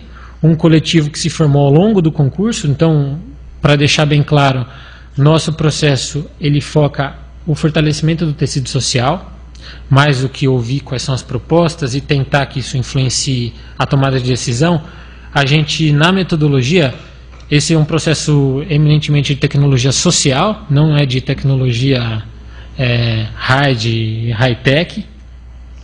A gente atua muito como tecnologia social mesmo, certificado pela Fundação Banco do Brasil e FINEP. E o objetivo é fortalecer o tecido social. Quando a gente desenvolve um projeto desse, a gente compõe equipe trazendo as pessoas que já têm engajamento naquela comunidade. É assim que a gente forma as equipes dos projetos. E o objetivo é for fortalecer ou incentivar a formação de comunidades de colaboração. Pessoas que têm a mesma vontade, o mesmo sonho e o coração pulsando pelas mesmas questões, mas que mesmo morando juntos, próximos, não se conheciam ou não se identificavam desse jeito, e a partir disso, tanto movimentos sociais que já atuam se fortalecem porque ampliam sua base, sua base social, quanto movimentos podem surgir. E são esses movimentos que depois dão organicidade para todo esse processo. É quem continua mobilizando, é, intervindo, pressionando e cutucando o poder público, né? É, é isso que, que, que dá é, um caráter mais perene para as ações. Agora, junto com a Secretaria-Geral, a gente está atuando no Xingu, toda a região da bacia do rio Xingu, no Pará, que envolve 11 municípios. É uma região é, que está recebendo muitos investimentos, está recebendo Belo Monte é, em Vitória do Xingu. Isso impacta a região, quando a obra foi bancada pelo governo, então é, se tentou construir uma engenharia né, diferente para a obra. Então não mais seria só uma obra de engenharia de, de construção de infraestrutura, mas o consórcio vencedor ficaria responsável também por é, destinar um recurso para um plano de desenvolvimento regional sustentável. Então, o que a gente vai para lá é tentar ampliar a participação social para um plano de desenvolvimento específico. Muito nessa linha de, então, vamos construir processos de participação com incidência direta em tomada de decisão específica, né? É, quando a gente abre um processo de participação para ouvir as pessoas, tem que falar onde que isso vai cair, né? Qual que é a porta de saída, onde isso vai incidir. É, lá isso envolve então 11 cidades, uma realidade amazônica, rural, é um outro ambiente. É, Para vocês terem ideia, dos 11 municípios, um é estabelecido como cidade digital, no Plano Nacional de Banda Larga, do Minicom. Ele tem centenas de tablets, mas ninguém no município sabe usar esse tablet direito. Ninguém foi, não teve nenhum curso de capacitação ainda. A gente tem nos 11 municípios rádio comunitária em todos. É, é na, na verdade, na, a região ela tem um, um, uma realidade, tem algumas tem grandes reservas lá. No, no caso de Uruará, não, não é, esse, não é esse o contexto. Mas a gente tem vários ativos de comunicação lá. Por exemplo, a gente tem a Casa Familiar Rural em todos os municípios que atuam com as famílias de trabalhadores e trabalhadores rurais. Todas essas casas têm é, infocentro, só que nenhuma recebeu antena ainda. Então não tem acesso à internet. Então é uma região que tem uma dificuldade grande ainda de atuar com essa participação com novas tecnologias. A gente está aprendendo muito com a metodologia, mas está conseguindo fazer, está conseguindo ampliar essa participação.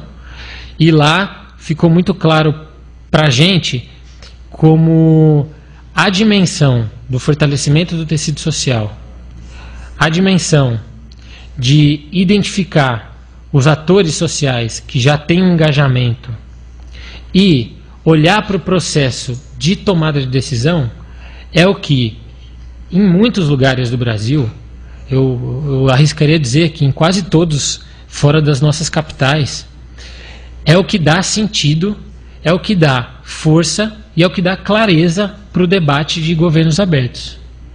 Porque é aí que a gente faz sentido para um varzino. É aí que a gente faz sentido para um jundiaense. Para um morador de Uruará, de Pacajá, de Medicilândia. Ou para alguém que tem militado há 40 anos por um tema, que tem um acúmulo de participação social e de governo aberto, porque governo aberto não deixa de ser eu, pela minha militância, aprender como eu ativo aquela máquina, né? como eu, como cidadão, como, como sociedade, consigo fazer isso girar para a comunidade, rodar para a comunidade, como que, essa, como que eu hackeio esse processo. Né? Então, não deixa de fazer muito sentido para quase todas as pessoas que têm uma, um engajamento político no Brasil, a gente fortalecer a nossa compreensão de que o governo aberto é decisão aberta. E é, aí a gente abre um campo muito grande de generosidade de ambas as partes para a gente começar a falar de dados abertos, aplicativos, enfim, a gente gosta muito disso. Aí eu até trouxe rapidamente o resultado da Pompeia. Como eu falei, a gente tenta ao máximo que todo o processo fique visível a todos os públicos, é, para que ele continue vivo. Então, não sei aqui quem conhece o bairro da Vila Pompeia, mas é esse. E aqui estão os sonhos das pessoas desenhados. E aqui é um guia de oportunidades para todos os tomadores ou influenciadores de, to de tomada de decisão. Eu digo influenciadores porque a gente tem um caso de um usuário de Itabira que entrou no site, fez um croquis deu a proposta dele para melhorar o tráfego de toda a área central. Ele é um servidor, no caso. Ele não foi ouvido durante alguns anos. É, e é por isso que ele decidiu entrar no site. Não sei se ele esperava que a gente pudesse fazer alguma coisa. Até é, é uma angústia que a gente vive. A gente não pode. Mas ele colocou ali, vai saber como, chegou na mãe do prefeito, que gostou da ideia. E foi feito. Ela leu, soube dessa informação. Ela não é uma tomadora de decisão, mas ela influencia o tomador de decisão. Então, como manter o processo visível para todos os públicos é importante, né? É por isso que a gente tentou criar toda a visualização possível para entender quem participou, que moradores do bairro participaram, quais foram as propostas, os sonhos, qual é o volume de dados disso, mas em especial, na Rua Diana, qual é o sonho? Na Barão do Bananal, qual é o sonho? Para que um público, porque todo canal de participação é enviesado, não tem como não ser. O nosso, o que a gente tem trabalhado também é tem um público que se dá melhor com as ferramentas digitais. Por isso que todo o processo precisa apontar a, a, o seu plugin, né? Então, o que a gente tentou foi apontar aqui como esse processo pode ser ampliado para daí trazer outras pessoas, outros públicos que não necessariamente se envolveram no processo digital ou presencial, teve muita atividade presencial, mas que também tem uma visão sobre o bairro. O que a gente tem clareza e certeza é que essas novas tecnologias possibilitam que a gente não fique mais só é, lendo é, e acompanhando as decisões. Ir numa Câmara Municipal, por exemplo, para ficar acompanhando o que eles estão falando e aí depois dizer se a gente concorda ou não. A gente pode começar a influenciar desde o processo de construção das decisões. Obrigado. Obrigada, Henrique.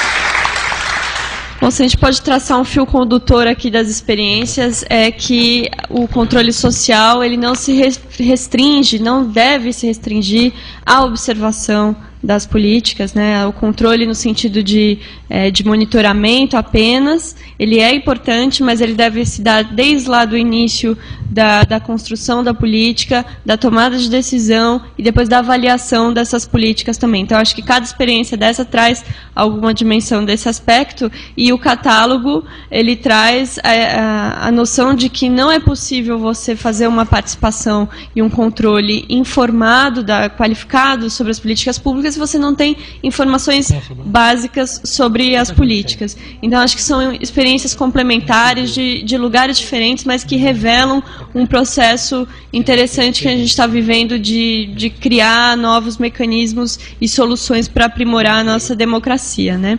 Então, eu abro agora, a gente tem cinco inscrições. Gisele, Caio, Marcelo, Laura e Vera. E na fala da Gisele, a gente ainda vai aceitar mais inscrições e, e depois encerrar para poder voltar aqui para a mesa. Então já tem mais duas aqui. É, boa tarde a todos, obrigada pelas apresentações, são bem inspiradoras. Assim, é, eu vou falar muito rapidamente para não tomar o tempo das outras pessoas. É, como eu fui citada pela apresentação da Fernanda, é, só queria colocar alguns pontos. Né? Esse grupo de trabalho da sociedade civil, como ela bem mencionou, foi um grupo informal, com um mandato bem definido para tentar ampliar a participação social é, da sociedade civil no processo da OGP. Então, não foi muito além disso, o mandato dele, inclusive, se encerrou, né? E o grande debate agora é, é o, o que a sociedade civil quer em relação à OGP, a atuação do Brasil na OGP, né? como ela vai se articular e como isso, né, como o, o, governo e a sociedade civil vão trabalhar em parceria. A, a nossa relação é, governo e sociedade civil, assim, é, eu falo nossa porque eu tive envolvida nos dois processos, primeiro plano e segundo plano, está cheia de altos e baixos, né? né? Enfim, não dá tempo de fazer um grande balanço agora. Infelizmente, agora a gente está no momento baixa, né? a, a, própria não publicação do segundo plano de ação, né, é, o, o, os ingleses vão saber primeiro do que a gente. É, e aí o que leva muitas vezes a gente ouvir, né, a OGP é coisa para inglês ver, né? E, e, e, e, assim, é uma coisa que a gente tem enfrentado, porque nós estamos trabalhando muito arduamente e em alguns momentos de baixa, né, algumas organizações até da sociedade civil desacreditam todo o nosso trabalho também, o nosso processo. Então, é, é, eu gostaria que o governo brasileiro é, olhasse atentamente esse momento de baixa que a gente está vivendo, né, e, e, que a gente pudesse ter aí um, um, uma nova alta. Assim, vamos tentar ser, ser otimistas, né? É, então, eu gostaria de colocar concretamente uma pergunta para a Fernanda, né? Como ela acredita que deveria ser, assim, não como para Fernanda mesmo, não para o governo brasileiro, como ela acha que deveria ser o processo ideal para congregar a sociedade civil brasileira em torno dessa questão que muitas vezes é vista como uma coisa estrangeira, como uma coisa distante da realidade cotidiana dela. E como isso poderia se articular é, dentro de um governo que a gente sabe que é muito heterogêneo também a essa questão. Para o Henrique, eu aplaudo muito todas as iniciativas e, e eu queria é, entender um pouco mais o, qual é a porcentagem que vocês combinam nesses projetos de dados vindos de fontes oficiais e dados vindos do, da multidão, crowd, crowd, crowdsourcing? Né?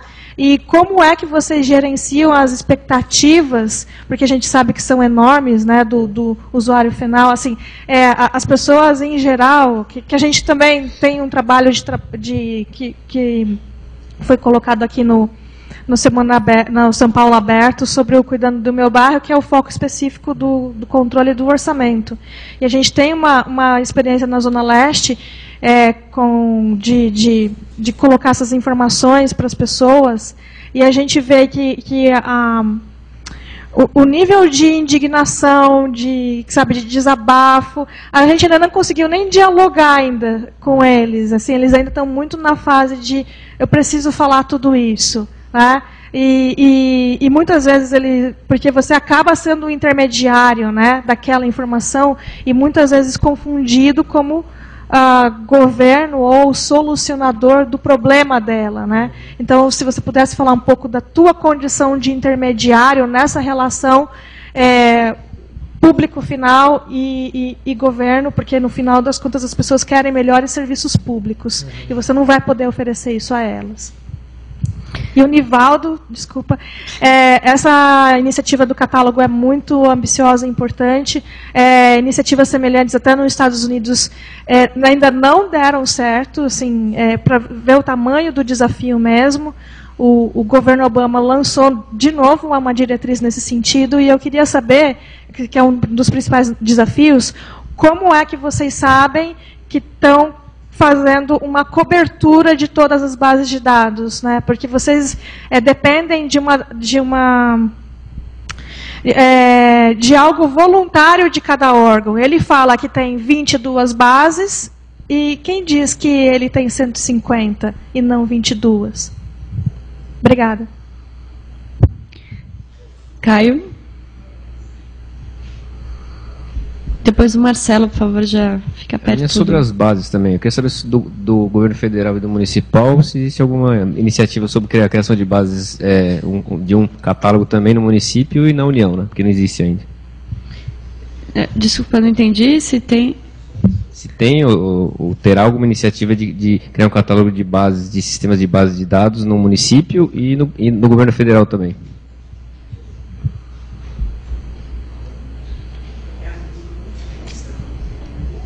Olá, sou Marcelo, uh, executivo público, trabalho na Fazenda do Estado.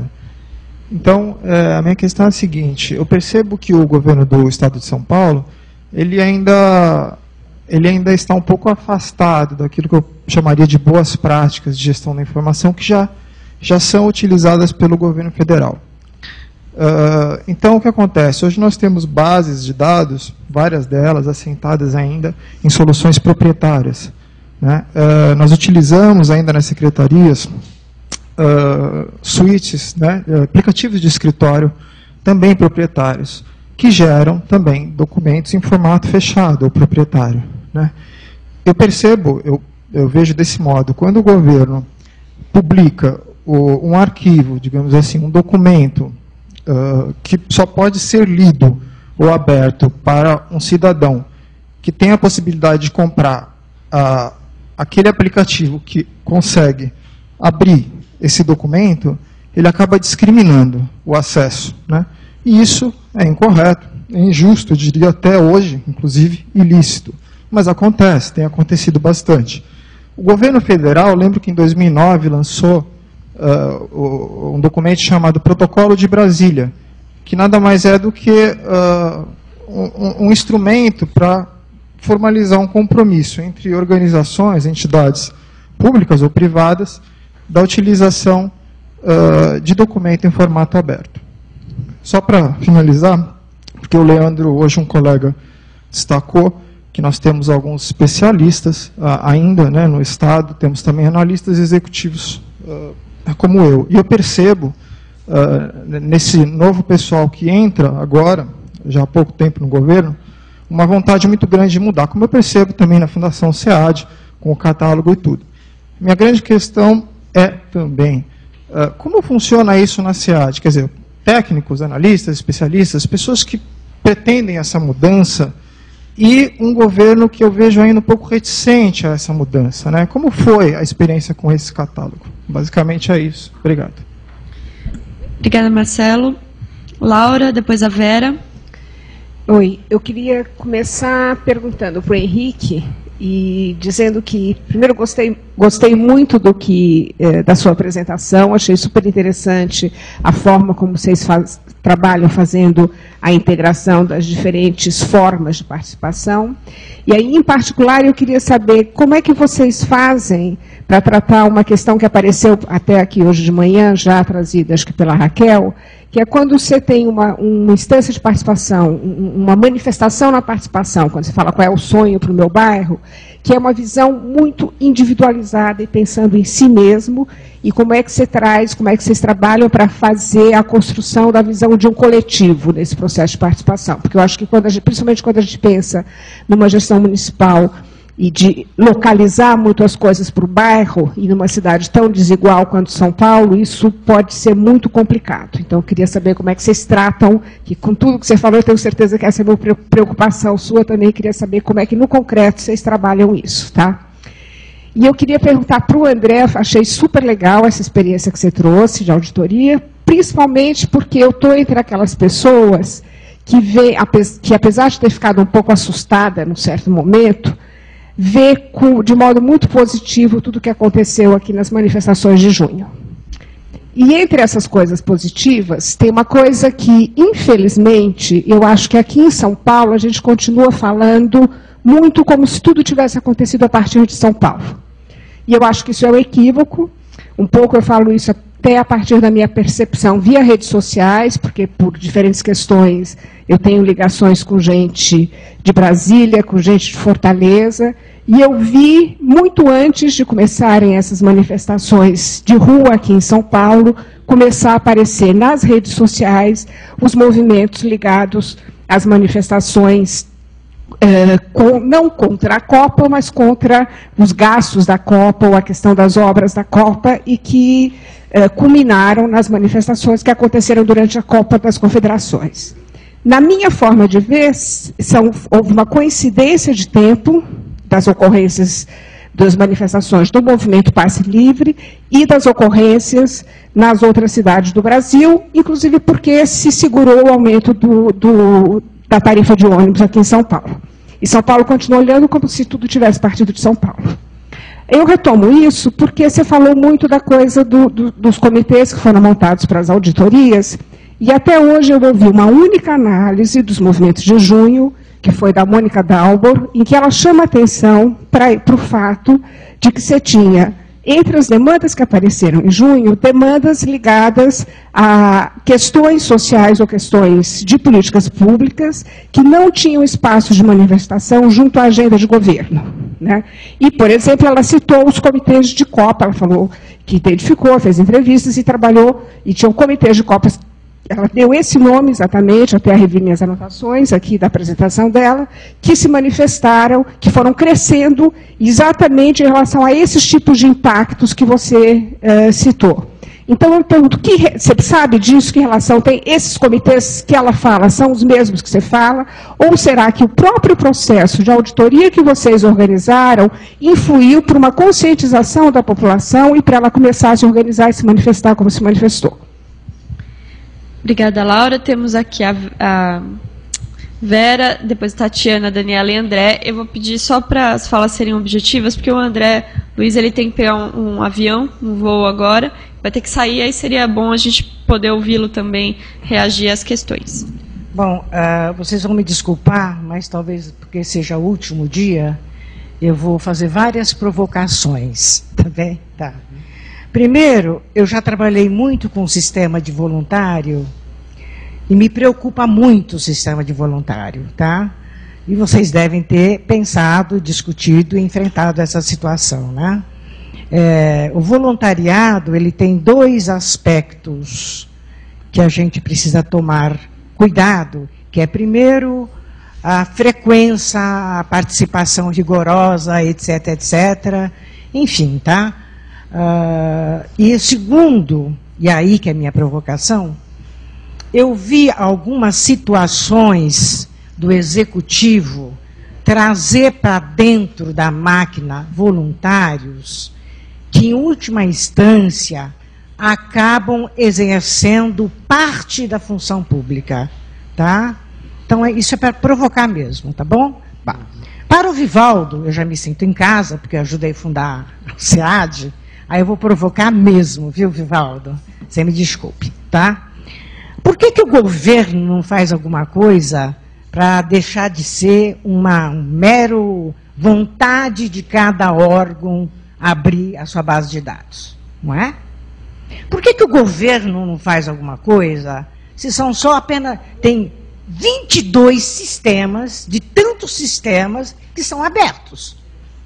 Então, me parece que esse catálogo ele não é somente para os usuários, ele é para o governo tomar decisões sobre ele. O governo está ou não está utilizando o catálogo para tomar decisões políticas, tá?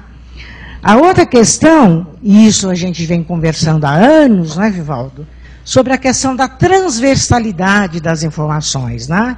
Você acaba fazendo sistemas de buscas setoriais uh, em cima de dados setoriais de cada sistema. Não junta coisa com coisa. E a gente sabe que, quando você fala em saúde, não é só a Secretaria de Saúde que trabalha com saúde, tá? Você pega a creche, tem problema de saúde. Você pega a educação, tem alimentação escolar, enfim, tá? Então, uma integração num sistema de busca, já que os sistemas não estão integrados, pelo menos que o sistema de busca esteja integrado, tá?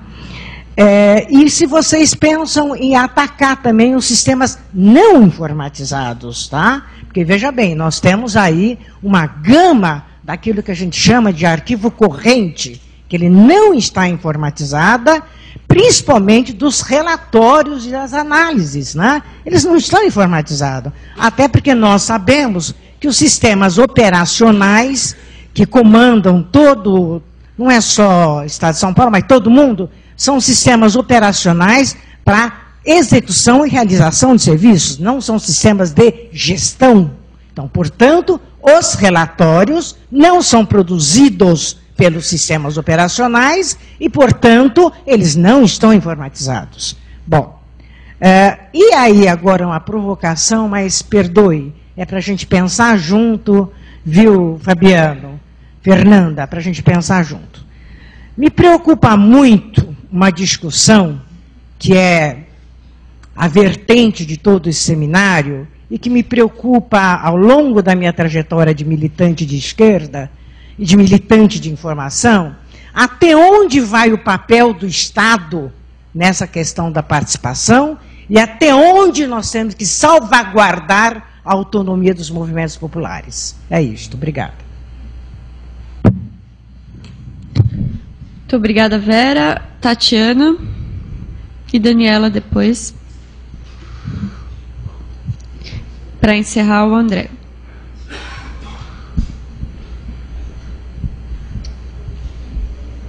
Obrigada. Eu queria dizer que o, o senhor Henrique, é, eu gostei muito da apresentação que o senhor fez. É ótima essa iniciativa nos bairros. Eu queria ver mais esse tipo de iniciativa. Se o senhor puder fazer lá em Paraisópolis, seria uma ótima ideia. Eu não moro em Paraisópolis, mas decidi adotar, porque, né, em falta de outras pessoas, eu adoto. Enfim, é isso que nós queremos. Eu acho que é isso que todo mundo como participação e governo aberto, né? poder influir nas decisões que estão, daquilo que reflete, que está mais perto de si, é, que é a prefeitura, o bairro.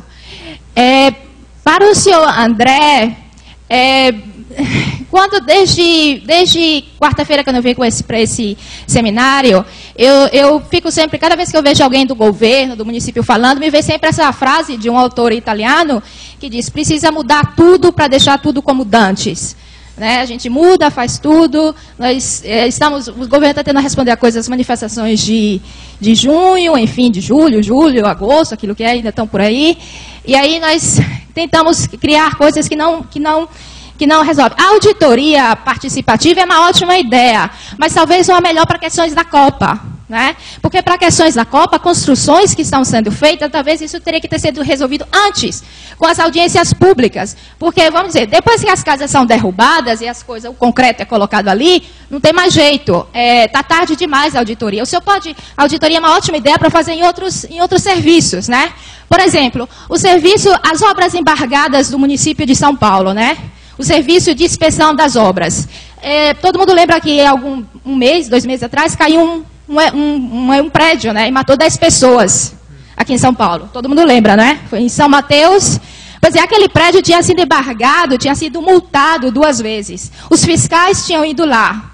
Mas ninguém fez nada. O prédio, quer dizer, nós temos os fiscais que vão lá, mas não param a obra. A obra, quer dizer, quem continuou, e aí caiu e matou das pessoas. Então, se os fiscais não são úteis para parar essas obras, para que, que eles estão? Para que, que a gente paga? É? Para que, que a gente paga? Tem 500 e alguma coisa fiscais no município, ganham 3.700 alguma coisa reais, mas não param aquilo que estão ali para parar. Então, isso é o tipo de é, auditoria participativa que eu vejo que seria útil, né? Auditorar aquilo, serviços que não funcionam né, que custam dinheiro e não servem para nada. Porque para que, que a gente paga os fiscais das obras e depois as obras continuam e, e, e, e quando cai, se cair, tem, tem, tem 10 mortes. É? Então, é, muito obrigada. Obrigada, Tatiana. Daniela?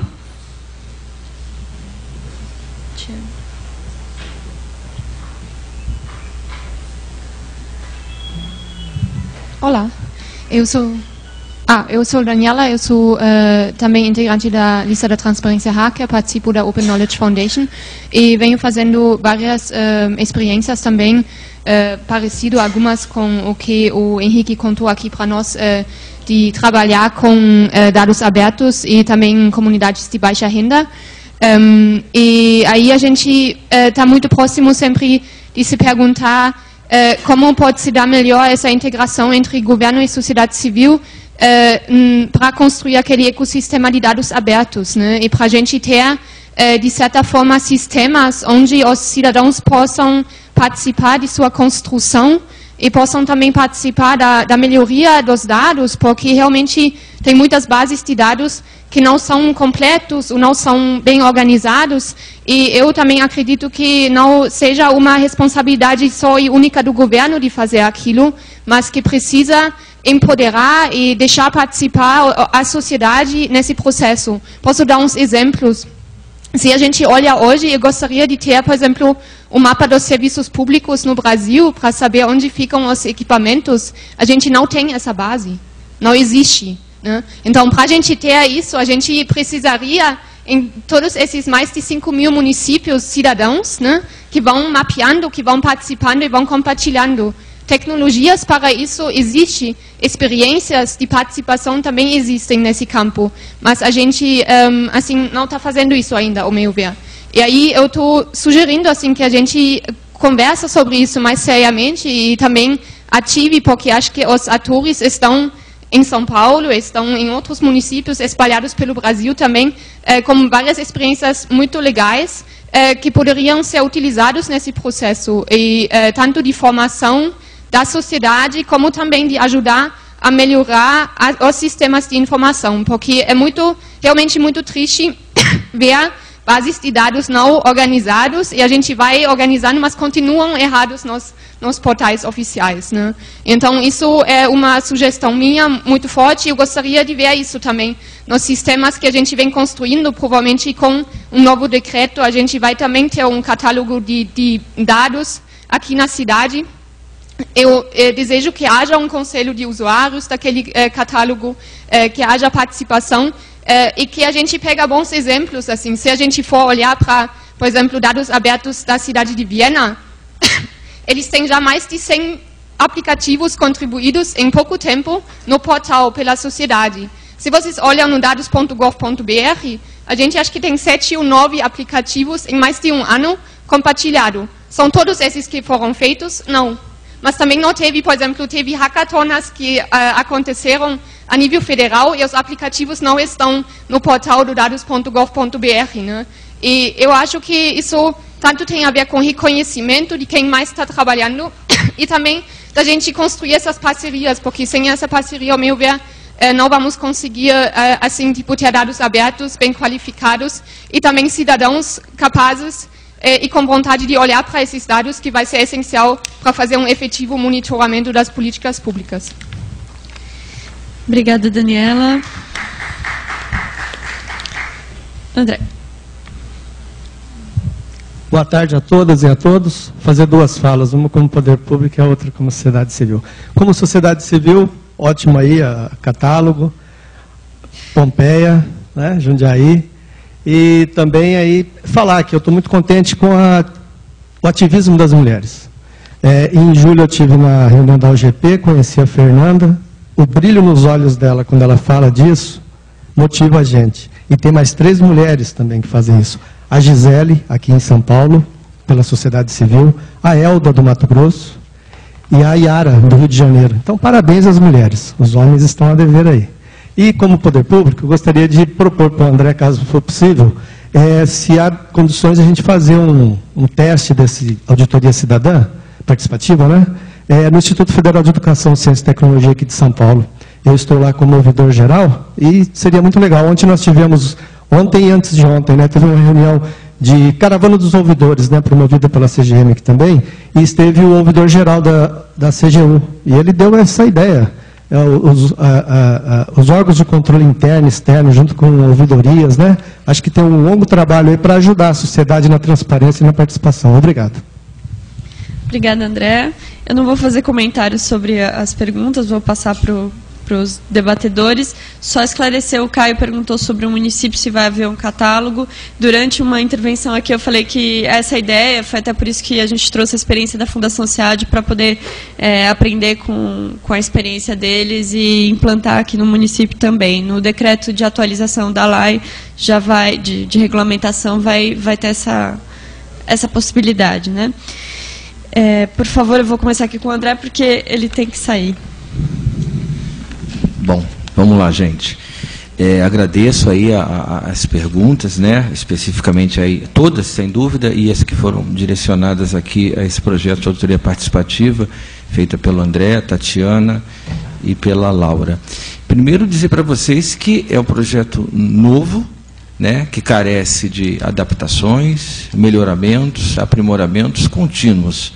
Eu acho que se trata de um avanço, se trata de um modelo que já está sendo desenvolvido, mas que está sendo aprimorado permanentemente, inclusive com muita ajuda da sociedade. Esse seria o, o primeiro ponto. Dizer ainda que, é, é, no meu entendimento, a, as manifestações de junho não guardam relação com o nosso trabalho que se iniciou em abril de 2012. Nós começamos a planejar e já estávamos em campo em abril de 2012. Então não houve um mapeamento de nenhuma espécie. Olha, em junho vai haver, então vamos lançar um projeto para de forma nenhuma, até porque o trabalho é extremamente técnico e os relatórios estão disponíveis na internet. E vocês podem até consultar o teor desses relatórios. Né? Então não guarda essa essa relação. Dizer ainda também que a auditoria participativa ela vem sendo utilizada hoje para o projeto Copa do Mundo. Mas a minha expectativa pessoal, eu, André, é que esse projeto possa evoluir e ser utilizado também para outros programas de governo, que você vai conhecer muito mais de perto e com muito mais profundidade o que está acontecendo em alguns programas de governo, independentemente de sua esfera, federal, municipal ou estadual é, comentar com você, vocês, até a questão que a Laura colocou, né, a questão do contra-copa. Sim, a gente escuta em campo. A gente está em campo, a sociedade conversa com a gente, os comitês populares, as, as associações e ONGs, enfim, que, que permeiam né, esse, esse segmento de diálogo, a gente escuta permanentemente. Dizer também que os comitês são totalmente diferentes quanto à sua estrutura.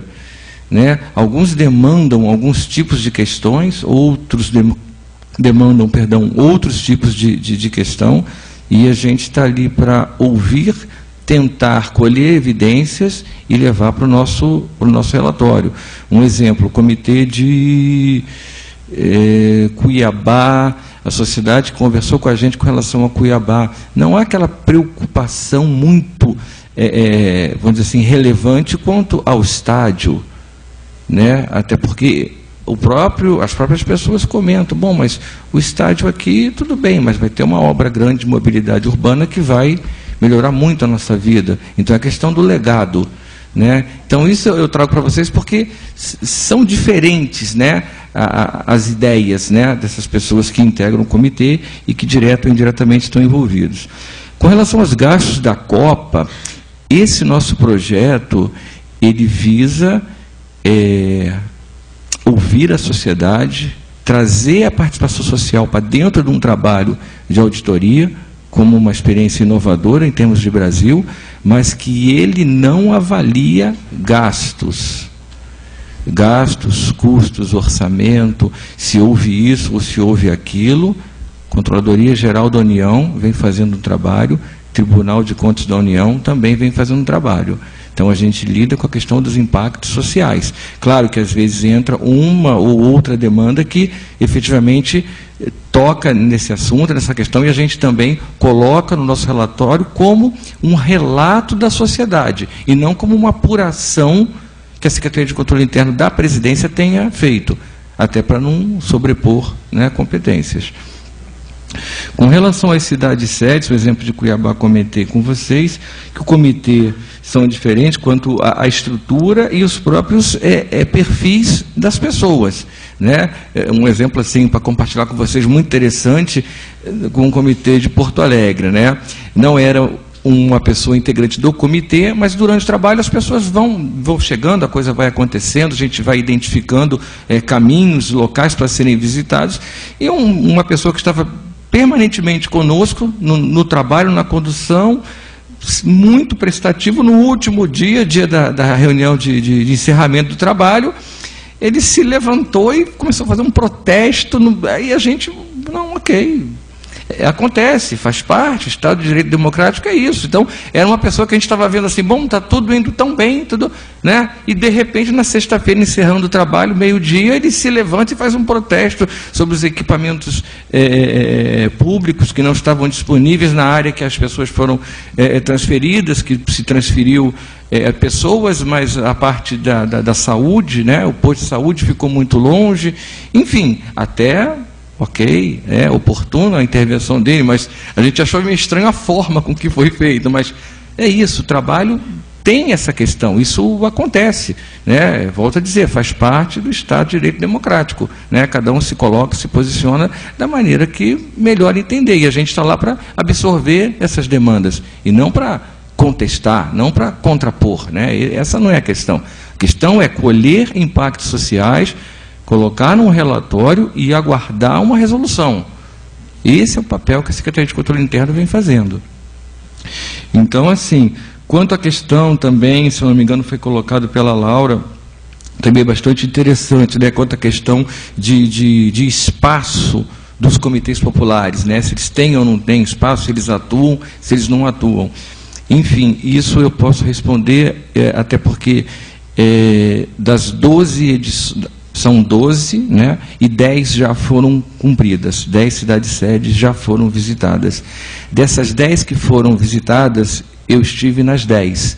Então, eu que iniciei todos os contatos com os comitês populares. Então, todos eles foram procurados por mim. Agora, tem comitê que se coloca mais, é, é, vamos dizer assim, por várias questões. Né? Até quando alguém comentou sobre a questão do voluntariado. O voluntariado, a gente não pode exigir que a pessoa, olha, senhor, por favor, esteja aqui tal. Não, de jeito nenhum. É diferente a relação. Aí não é auditor auditado.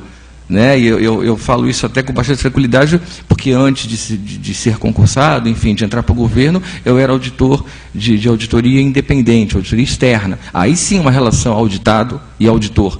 Né? O senhor me entrega esse documento com X dias, seja o extrato bancário, a razão contábil, balancete analítico, o senhor tem X dias. Aqui não. Aqui é uma relação auditor com a sociedade né? governo, sociedade, trabalho de auditoria, mas com participação social. Muda um pouquinho o enfoque, o perfil, o escopo e a atuação do, do auditor também.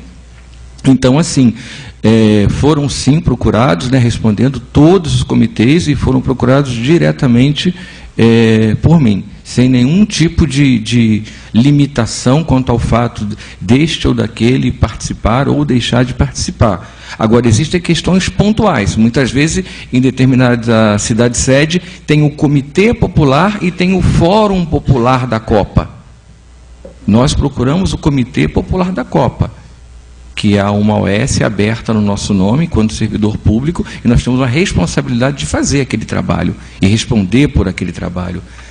Agora, se na cidade X ou Y existem vários, vamos dizer assim, fóruns de discussão sobre Copa do Mundo, sim, nosso ponto de entrada é o Comitê Popular, mas a gente escuta todos. Todos que estiverem presentes, que se fizerem presentes, que, que, que é, mantiverem contato conosco, antes, durante e depois, porque quando saímos de campo são 30 ou 40 dias para fechar o trabalho, é um prazo que a pessoa pode demandar quaisquer documentos para a gente que sejam pertinentes ao tema impactos sociais né, das obras da Copa, que é isso que a gente está procurando avaliar e, e volto a dizer, e melhorar a cada dia. Né? É um modelo novo, eu como vim da iniciativa privada, auditoria independente, é, para mim também é, é, é, foi uma migração, né? você tem que trabalhar conceitos de auditoria, você tem que é, manter tudo que você tem de auditoria, de normativos, de técnicas, e, aliado a isso, ouvir a sociedade e fazer uma auditoria participativa. Então, volto a dizer e bater nessa tecla. Sim, é, é, é um modelo novo e, e, há que ser permanentemente aprimorado, até para que possa ser utilizado em, em, outras questões, em outros programas de governo, ou daqui a alguns anos a Olimpíadas. A Copa do Mundo é o que, nesse momento, a gente vem fazendo, acompanhando as obras da Copa. Tá legal? Obrigada, André. Vivaldo. Passando. Desculpa, mas, é, respondendo a pergunta da Gisela, né? é, sobre a cobertura da, do catálogo. Eu não tenho a menor dúvida que ainda faltam muitas bases para entrar no catálogo. Né? É, lembrando né, o processo que a gente teve no Cidadão SP, ele é um processo lento, é um processo que exige um corpo a corpo né, com, com, com os órgãos, não há uma, uma coordenação central numa política desse tipo, né, que, que, que facilite essa, essa, esse, esse, diálogo. Então você precisa ou promover eventos, já vou responder uma parte da, da Vera também, né? Você precisa promover eventos, precisa promover é, encontros, né? O, o cidadão foi construído muito assim, né? A gente começou a, a, tinha, tinha algumas coisas que facilitavam o cidadão, que era poupar tempo e tudo mais. Mas a gente fez vários encontros e as pessoas foram aos poucos entendendo a importância daquilo. Né? Então a gente, é, dá para dizer que no cidadão a gente cobre, um, de novo, não, não tenho pretensão de dizer que a gente cobre 100%, mas que a gente cobre certamente os, os principais serviços, coisa de 90% dos serviços que o governo do Estado de São Paulo presta. Mas é um processo é construído lentamente. Né? No primeiro ano do, do catálogo do, do, do cidadão comunista, tinham 400 serviços. Né? É, é, nos primeiros quatro meses do catálogo, não chegava a 150, a 150 bases, se não me, se não me falha a memória. Né? E é, esse processo, quer dizer, o processo da gente é, é, é construir né, esse, esse, esse diálogo com os órgãos, é um processo também que depende do momento que o governo atravessa. Há momentos melhores, há momentos é, piores. Né? Nesse momento, por exemplo, eu diria que não é um momento muito propício a fazer esse tipo de coisa. Né? Estamos nos aproximando do final do governo, as preocupações começam a, a se diluir. É, eu temo que a gente vai conseguir retomar isso um pouquinho mais para frente. Né? É, tentar fazer alguma coisa mais institucional. Né? Então, é, é, muitas vezes, vocês todos são membros do governo, sabem que muitas vezes as iniciativas acabam sendo em focos, né? por foco, e não por uma política de governo. Né? É, é, para a legislação, eu vou misturar um pouco todas as, as perguntas aqui, depois, se alguma coisa. É, a legislação é uma legislação que cria o governo aberto, né, de 2010. Né, é simplesmente ignorada, né, tá certo? Aí a, a, a realidade nos mostra isso. Foi ignorado. Por quê? É, é, é, basicamente, na minha avaliação, e aqui eu de, me coloco o seguinte, eu não, tenho algumas perguntas aqui que perpassam a minha capacidade, eu não sou representante do governo, né? mas eu, eu posso falar, claro, como membro da, do, do, corpo de funcionários do governo. Né? Então, quer dizer, é, não basta de cara você né, ter esse furor legislativo, faz legislação, faz legislação, ela não pega. Né? Outra legislação que, que, que foi, se não me engano, em 2008, 2009, é, colocava o software open source né, como prioritário. Né? Porém, há uma cultura estabelecida, principalmente a partir da empresa de processamento de dados de São Paulo, que trabalha em, em, plataforma proprietária. Né? É, como você muda isso? Como é, né, faz a legislação, mas aqui, essa, a empresa, a Prodesp, ela é, fornece toda a parte de TI para N órgãos. Né? Mas também, eh, pelo outro lado, é o seguinte, não há um, uma política que você não possa fazer. Né? O catálogo foi desenvolvido em open source. Né? É PHP e a base é MySQL. Né? Nós, a, a, a Fundação fazer a experiência da gente, aí onde eu me sinto mais confortável, a Fundação Seada, ela se lembra bem disso desde as origens, ela, ela, ela passa por momentos de muita penúria. Né?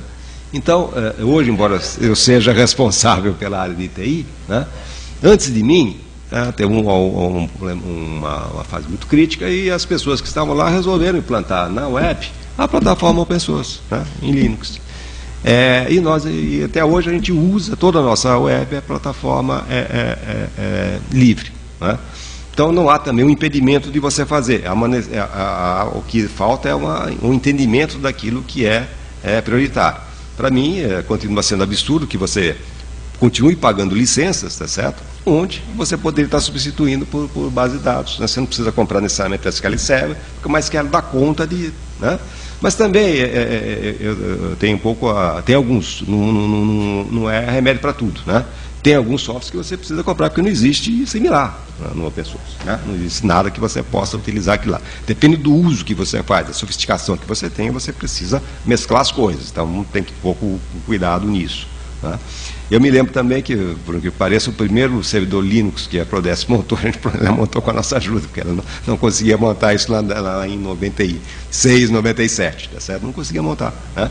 Então, há um, um pouco, é, são culturas, se você não age sobre essa cultura, ela vai ficando aí. Né? Ela não tem muito o, o, o que colocar. Né? É, bom, transversalidade das informações. Ah, desculpe, só complementando a coisa da, da Toninho me corrige, que ele está aqui, o Toninho é, é a pessoa aí da, da, da equipe do, do, catálogo.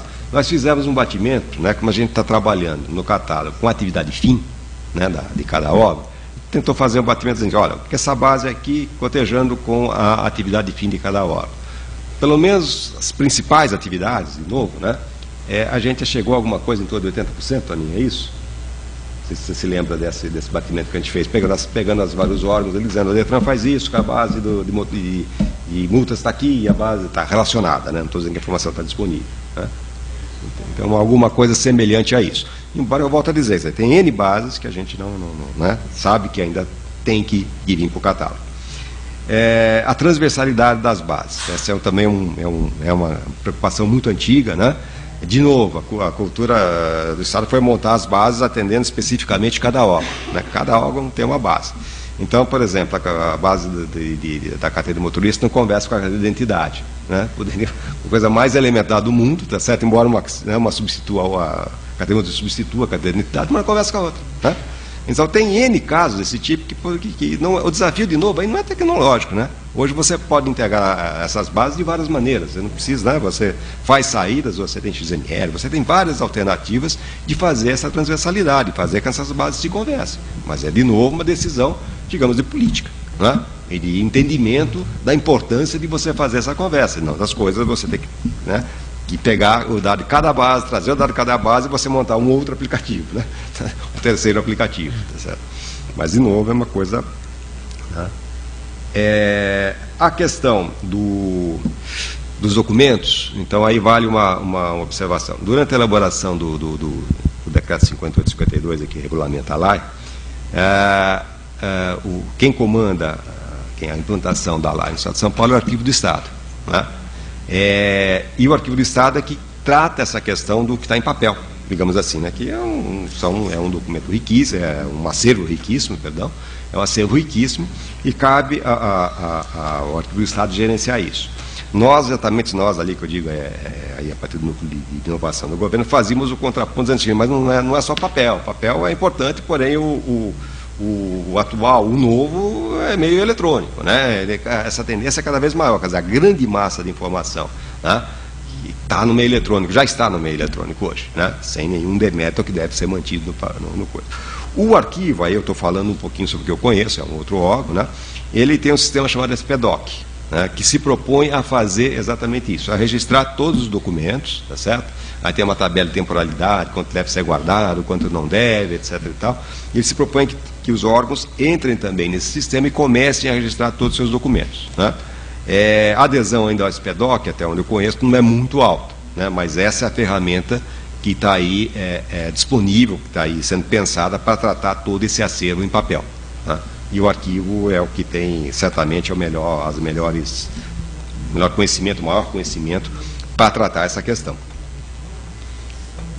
Eu não sei se ficou alguma coisa de fora. Acho que. Não. Obrigada, Vivaldo. O André vai ter. Obrigada, André. Ele vai ter mesmo que sair, né? Que o, carro dele já está aí. E ele disponibilizou aqui o e-mail, depois se alguém quiser pegar aqui com, com a organização, ele disponibilizou o e-mail institucional dele para responder a, a outras perguntas. Fernanda, comentários finais. Oi, eu também queria iniciar agradecendo as perguntas e as colocações, né?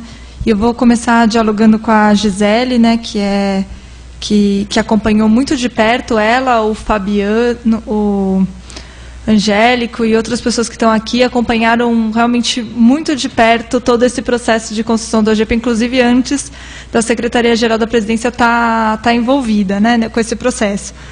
De fato, assim, a, o nosso ministro, Gilberto Carvalho, ele sempre fala que a relação Estado-sociedade ela sempre é, é uma, é uma relação de permanente tensão e que isso que é o bom, isso que é o importante, porque a sociedade ela sempre tem que estar tá pautada na utopia, no sonho, no desejo do, do ideal. Enquanto que o governo, né, tá, é, quem está, os dirigentes, no momento que eles estão né, do outro lado do balcão, embora é, eles venham de um processo é, também de sonho e que tem, trazem consigo um projeto, um projeto que é aquele que é eleito é, de forma democrática, eles lidam com o possível. E o possível é a execução de ações dentro de um ordenamento jurídico e administrativo bastante é, limitante, que é importante porque você está lidando com a coisa pública, então você precisa de procedimentos para lidar com ela de forma transparente, mas de fato é, impõe várias limitações no tempo, no, no processo de realização é, e, mas, ao mesmo tempo, essa tensão permanente ela é fundamental porque é ela que faz com que o que é possível seja cada vez mais ampliado. E aí a gente vai tendo processos sucessivos de ressignificação do que são os direitos da cidadania, do que são os próprios direitos humanos, e nesse processo o próprio governo vai é, implementando mudanças que muitas vezes são graduais, mas outras vezes são inovadoras, são mudanças que representam saltos, mudanças culturais e grandes avanços. Então essa essa relação de altos e baixos, ela vai ser permanente, porque a gente vai estar sempre tentando alcançar e mais um pouco, alcançar o que está sendo pleiteado e, e muito, algumas vezes vai conseguir, mas a maioria das vezes não vai conseguir, porque o sonho da sociedade tem que ser realmente é, sempre sempre mais longe, né? Se a gente for mais um pouquinho, a gente tem que ir o sonho também tem que, tem que ser ampliado. Então, fazendo esse, esse reconhecimento já de imediato, que é assim, é uma luta que, que, que é um processo contínuo né, de construção, eu quero fazer um comprometimento que, da parte da Secretaria-Geral, a gente vai se empenhar ao máximo para, um, a gente ter o plano é, devidamente divulgado, o mais rápido possível. Se por acaso ainda não tiver no site, que eu tentei aqui acessar, mas eu estou sem acesso à internet, que isso vai acontecer num prazo muito curto e, principalmente, que a gente vai ter o processo de monitoramento participativo constituído de forma é, formalmente, e mais importante do que isso, assim, é o compromisso de fazer com que esse processo seja referência no governo federal de como fazer um monitoramento realmente com o engajamento da sociedade. Porque, diferentemente de outras políticas, na questão da, do governo aberto, a gente tem uma sociedade muito atuante, muito militante, que começou com isso muito antes do governo incorporar isso como uma pauta própria.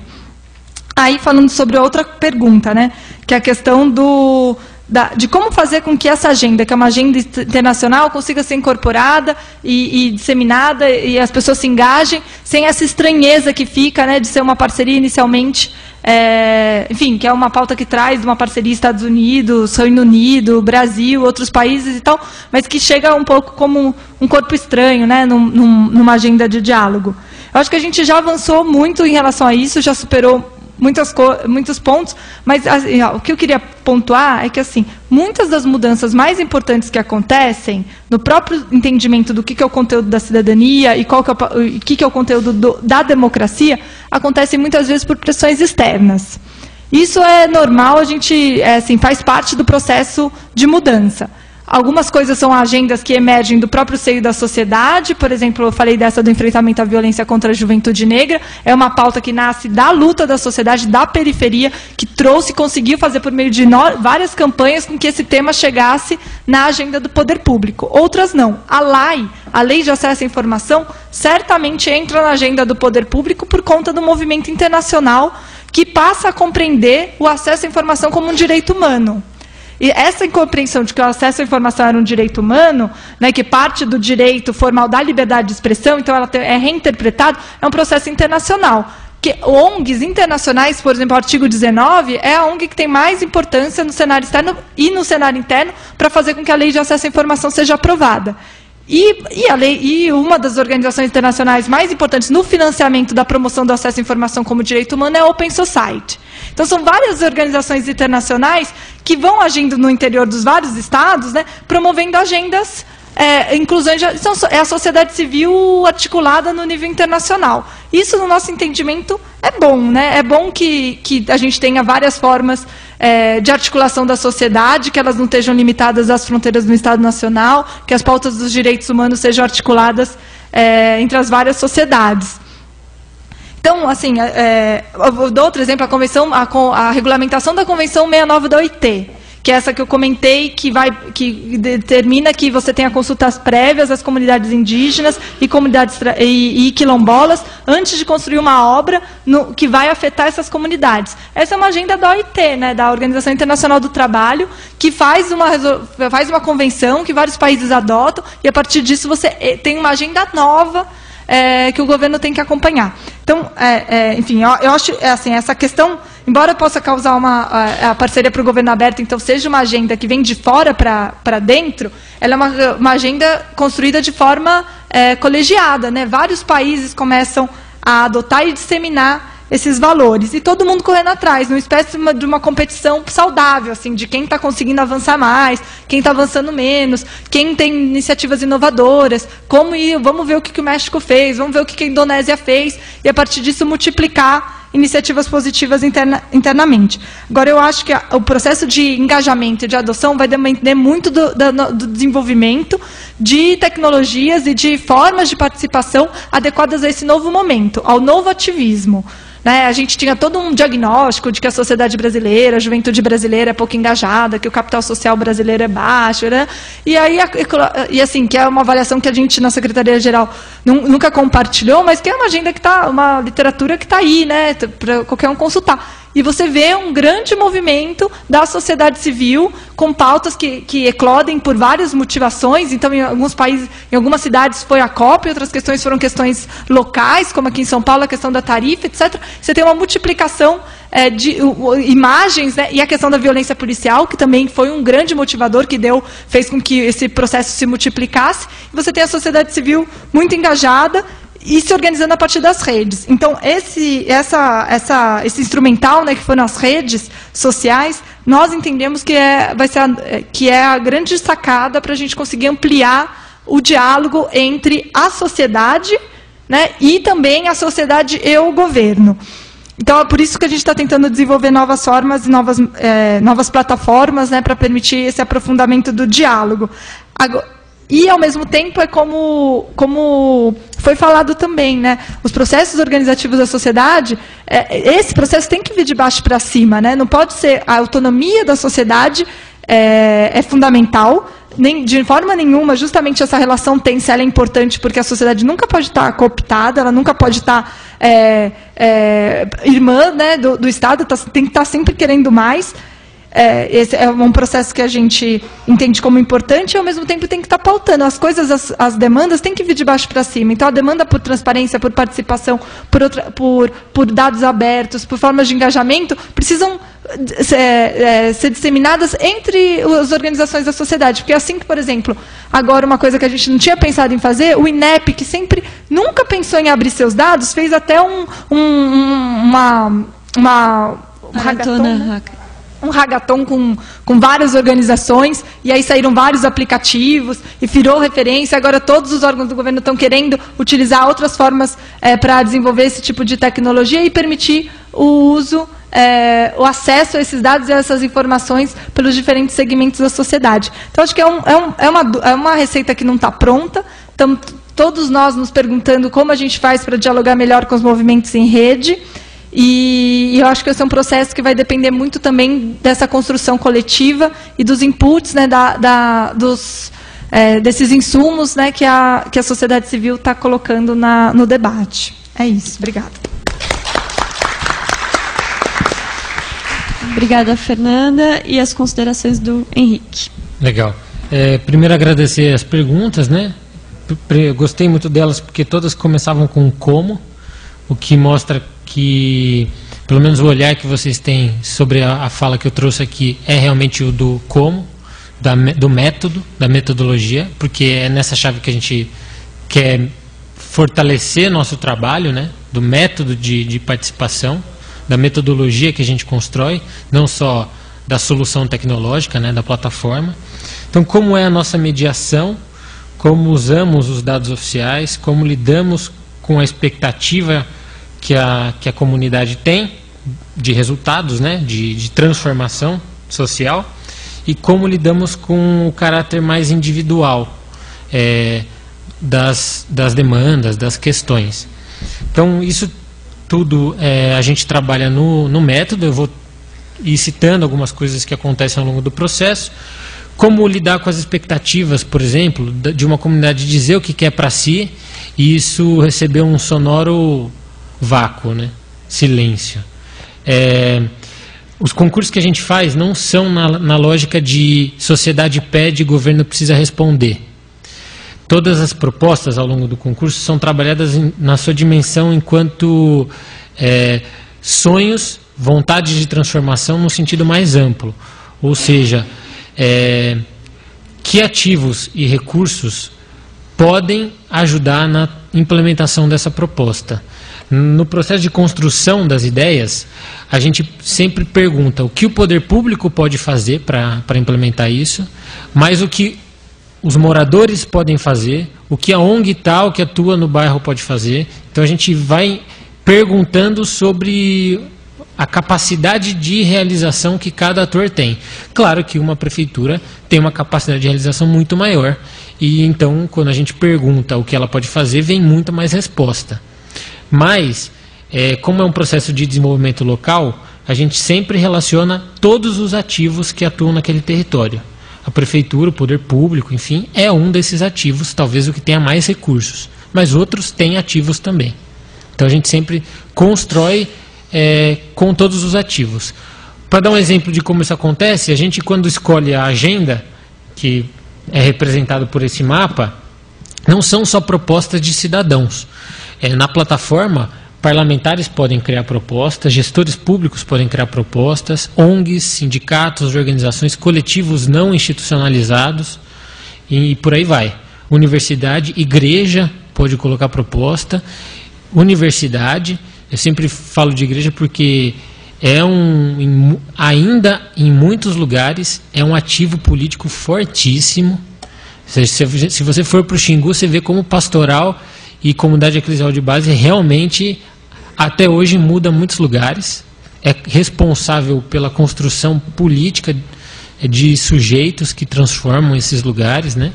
Então a gente sempre vai relacionando vários ativos. E isso ajuda a lidar com as expectativas. Quando a gente, por exemplo, em Jundiaí, chega em 12 propostas, que são as mais relevantes, e quatro são de parlamentares, gestores públicos, etc., como resultado disso, a gente tem hoje que em Jundiaí 70% dos vereadores usam a plataforma. Isso ajuda a, uma, construir uma participação mais orgânica do, do, do gestor, do parlamentar, do governante. Então hoje, quem entra na plataforma Jundiaí já fala assim, pô, o vereador tem perfil, ele vai estar tá vendo isso. Eu vou mandar para ele. Então a gente facilita muito isso. E como alguns gestores governantes têm propostas que são premiadas, isso favorece depois, nos espaços de tomada de decisão, a incidência. É, hoje, por exemplo, no último concurso, um dos parlamentares que, vence, que, que teve a proposta vencedora hoje é presidente da Câmara.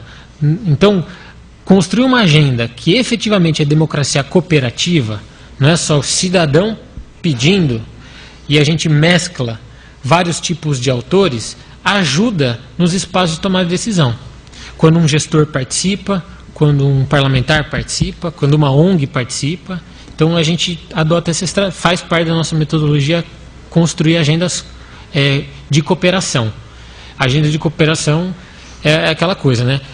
Quando a gente faz um grupo aqui, se a minha proposta estiver no, na agenda final, eu vou cooperar mais, né? Do que se não tiver. É natural. E é isso que a gente traz também.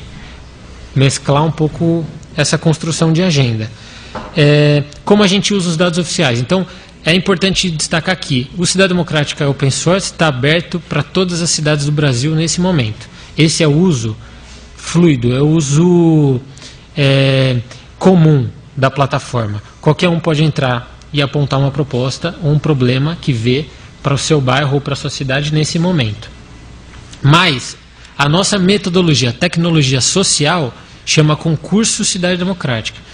É um projeto que a gente executa, com, pode variar a duração, o formato e tudo mais, mas durante esse período é, a gente sempre vincula a experiência de participação social a um processo de tomada de decisão específico. É construção do plano de desenvolvimento. No caso de Jundiaí, que é da sociedade, então a sociedade não, não tem um plano sobre a sua mão, o que, que foi qual foi a criação na cidade? Não tem problema. A gente faz o concurso, chega em 12 propostas, e todo ano eleitoral, quando os governantes estão mais é, sensíveis né, aos, às pessoas, a gente sabatina esses candidatos e faz eles se comprometerem com as propostas. E depois a gente fiscaliza durante o mandato.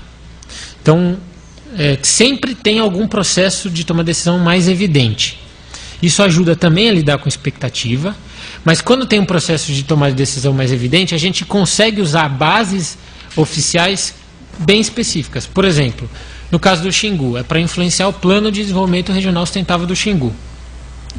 Esse plano, ele quando foi pensado com uma consultoria, todos os planos de desenvolvimento regional acabam fazendo isso, contratam especialistas para olhar para a região, gera um documento de 60, 70 páginas com diretrizes para o desenvolvimento regional. No calor da emoção ali, dos dois anos num comitê gestor paritário, todo mundo que já participou de conselho municipal sabe aqui que às vezes o calor é tão forte que, lá na emoção do, do, do embate, que a gente até esquece o, que, o papel que a gente levou às vezes, sabe? Fala e depois que a gente lembra. Lá está acontecendo isso também está perdendo a, a, diretriz estratégica que foi construída lá atrás. Então, na primeira fase do, do concurso, que é essa tecnologia social que eu estou falando, ela chama fase de inspiração. A fase de inspiração é o momento em que a gente consegue puxar algumas bases de dados que são relevantes para aquele contexto de participação e a gente faz produtos comunicativos que são as inspirações. A gente pode trabalhar com diferentes bases. Por exemplo, a gente vai discutir um plano de bairro, a gente pode trabalhar com o zoneamento que, que, que aquele bairro tem, e a gente gera uma inspiração.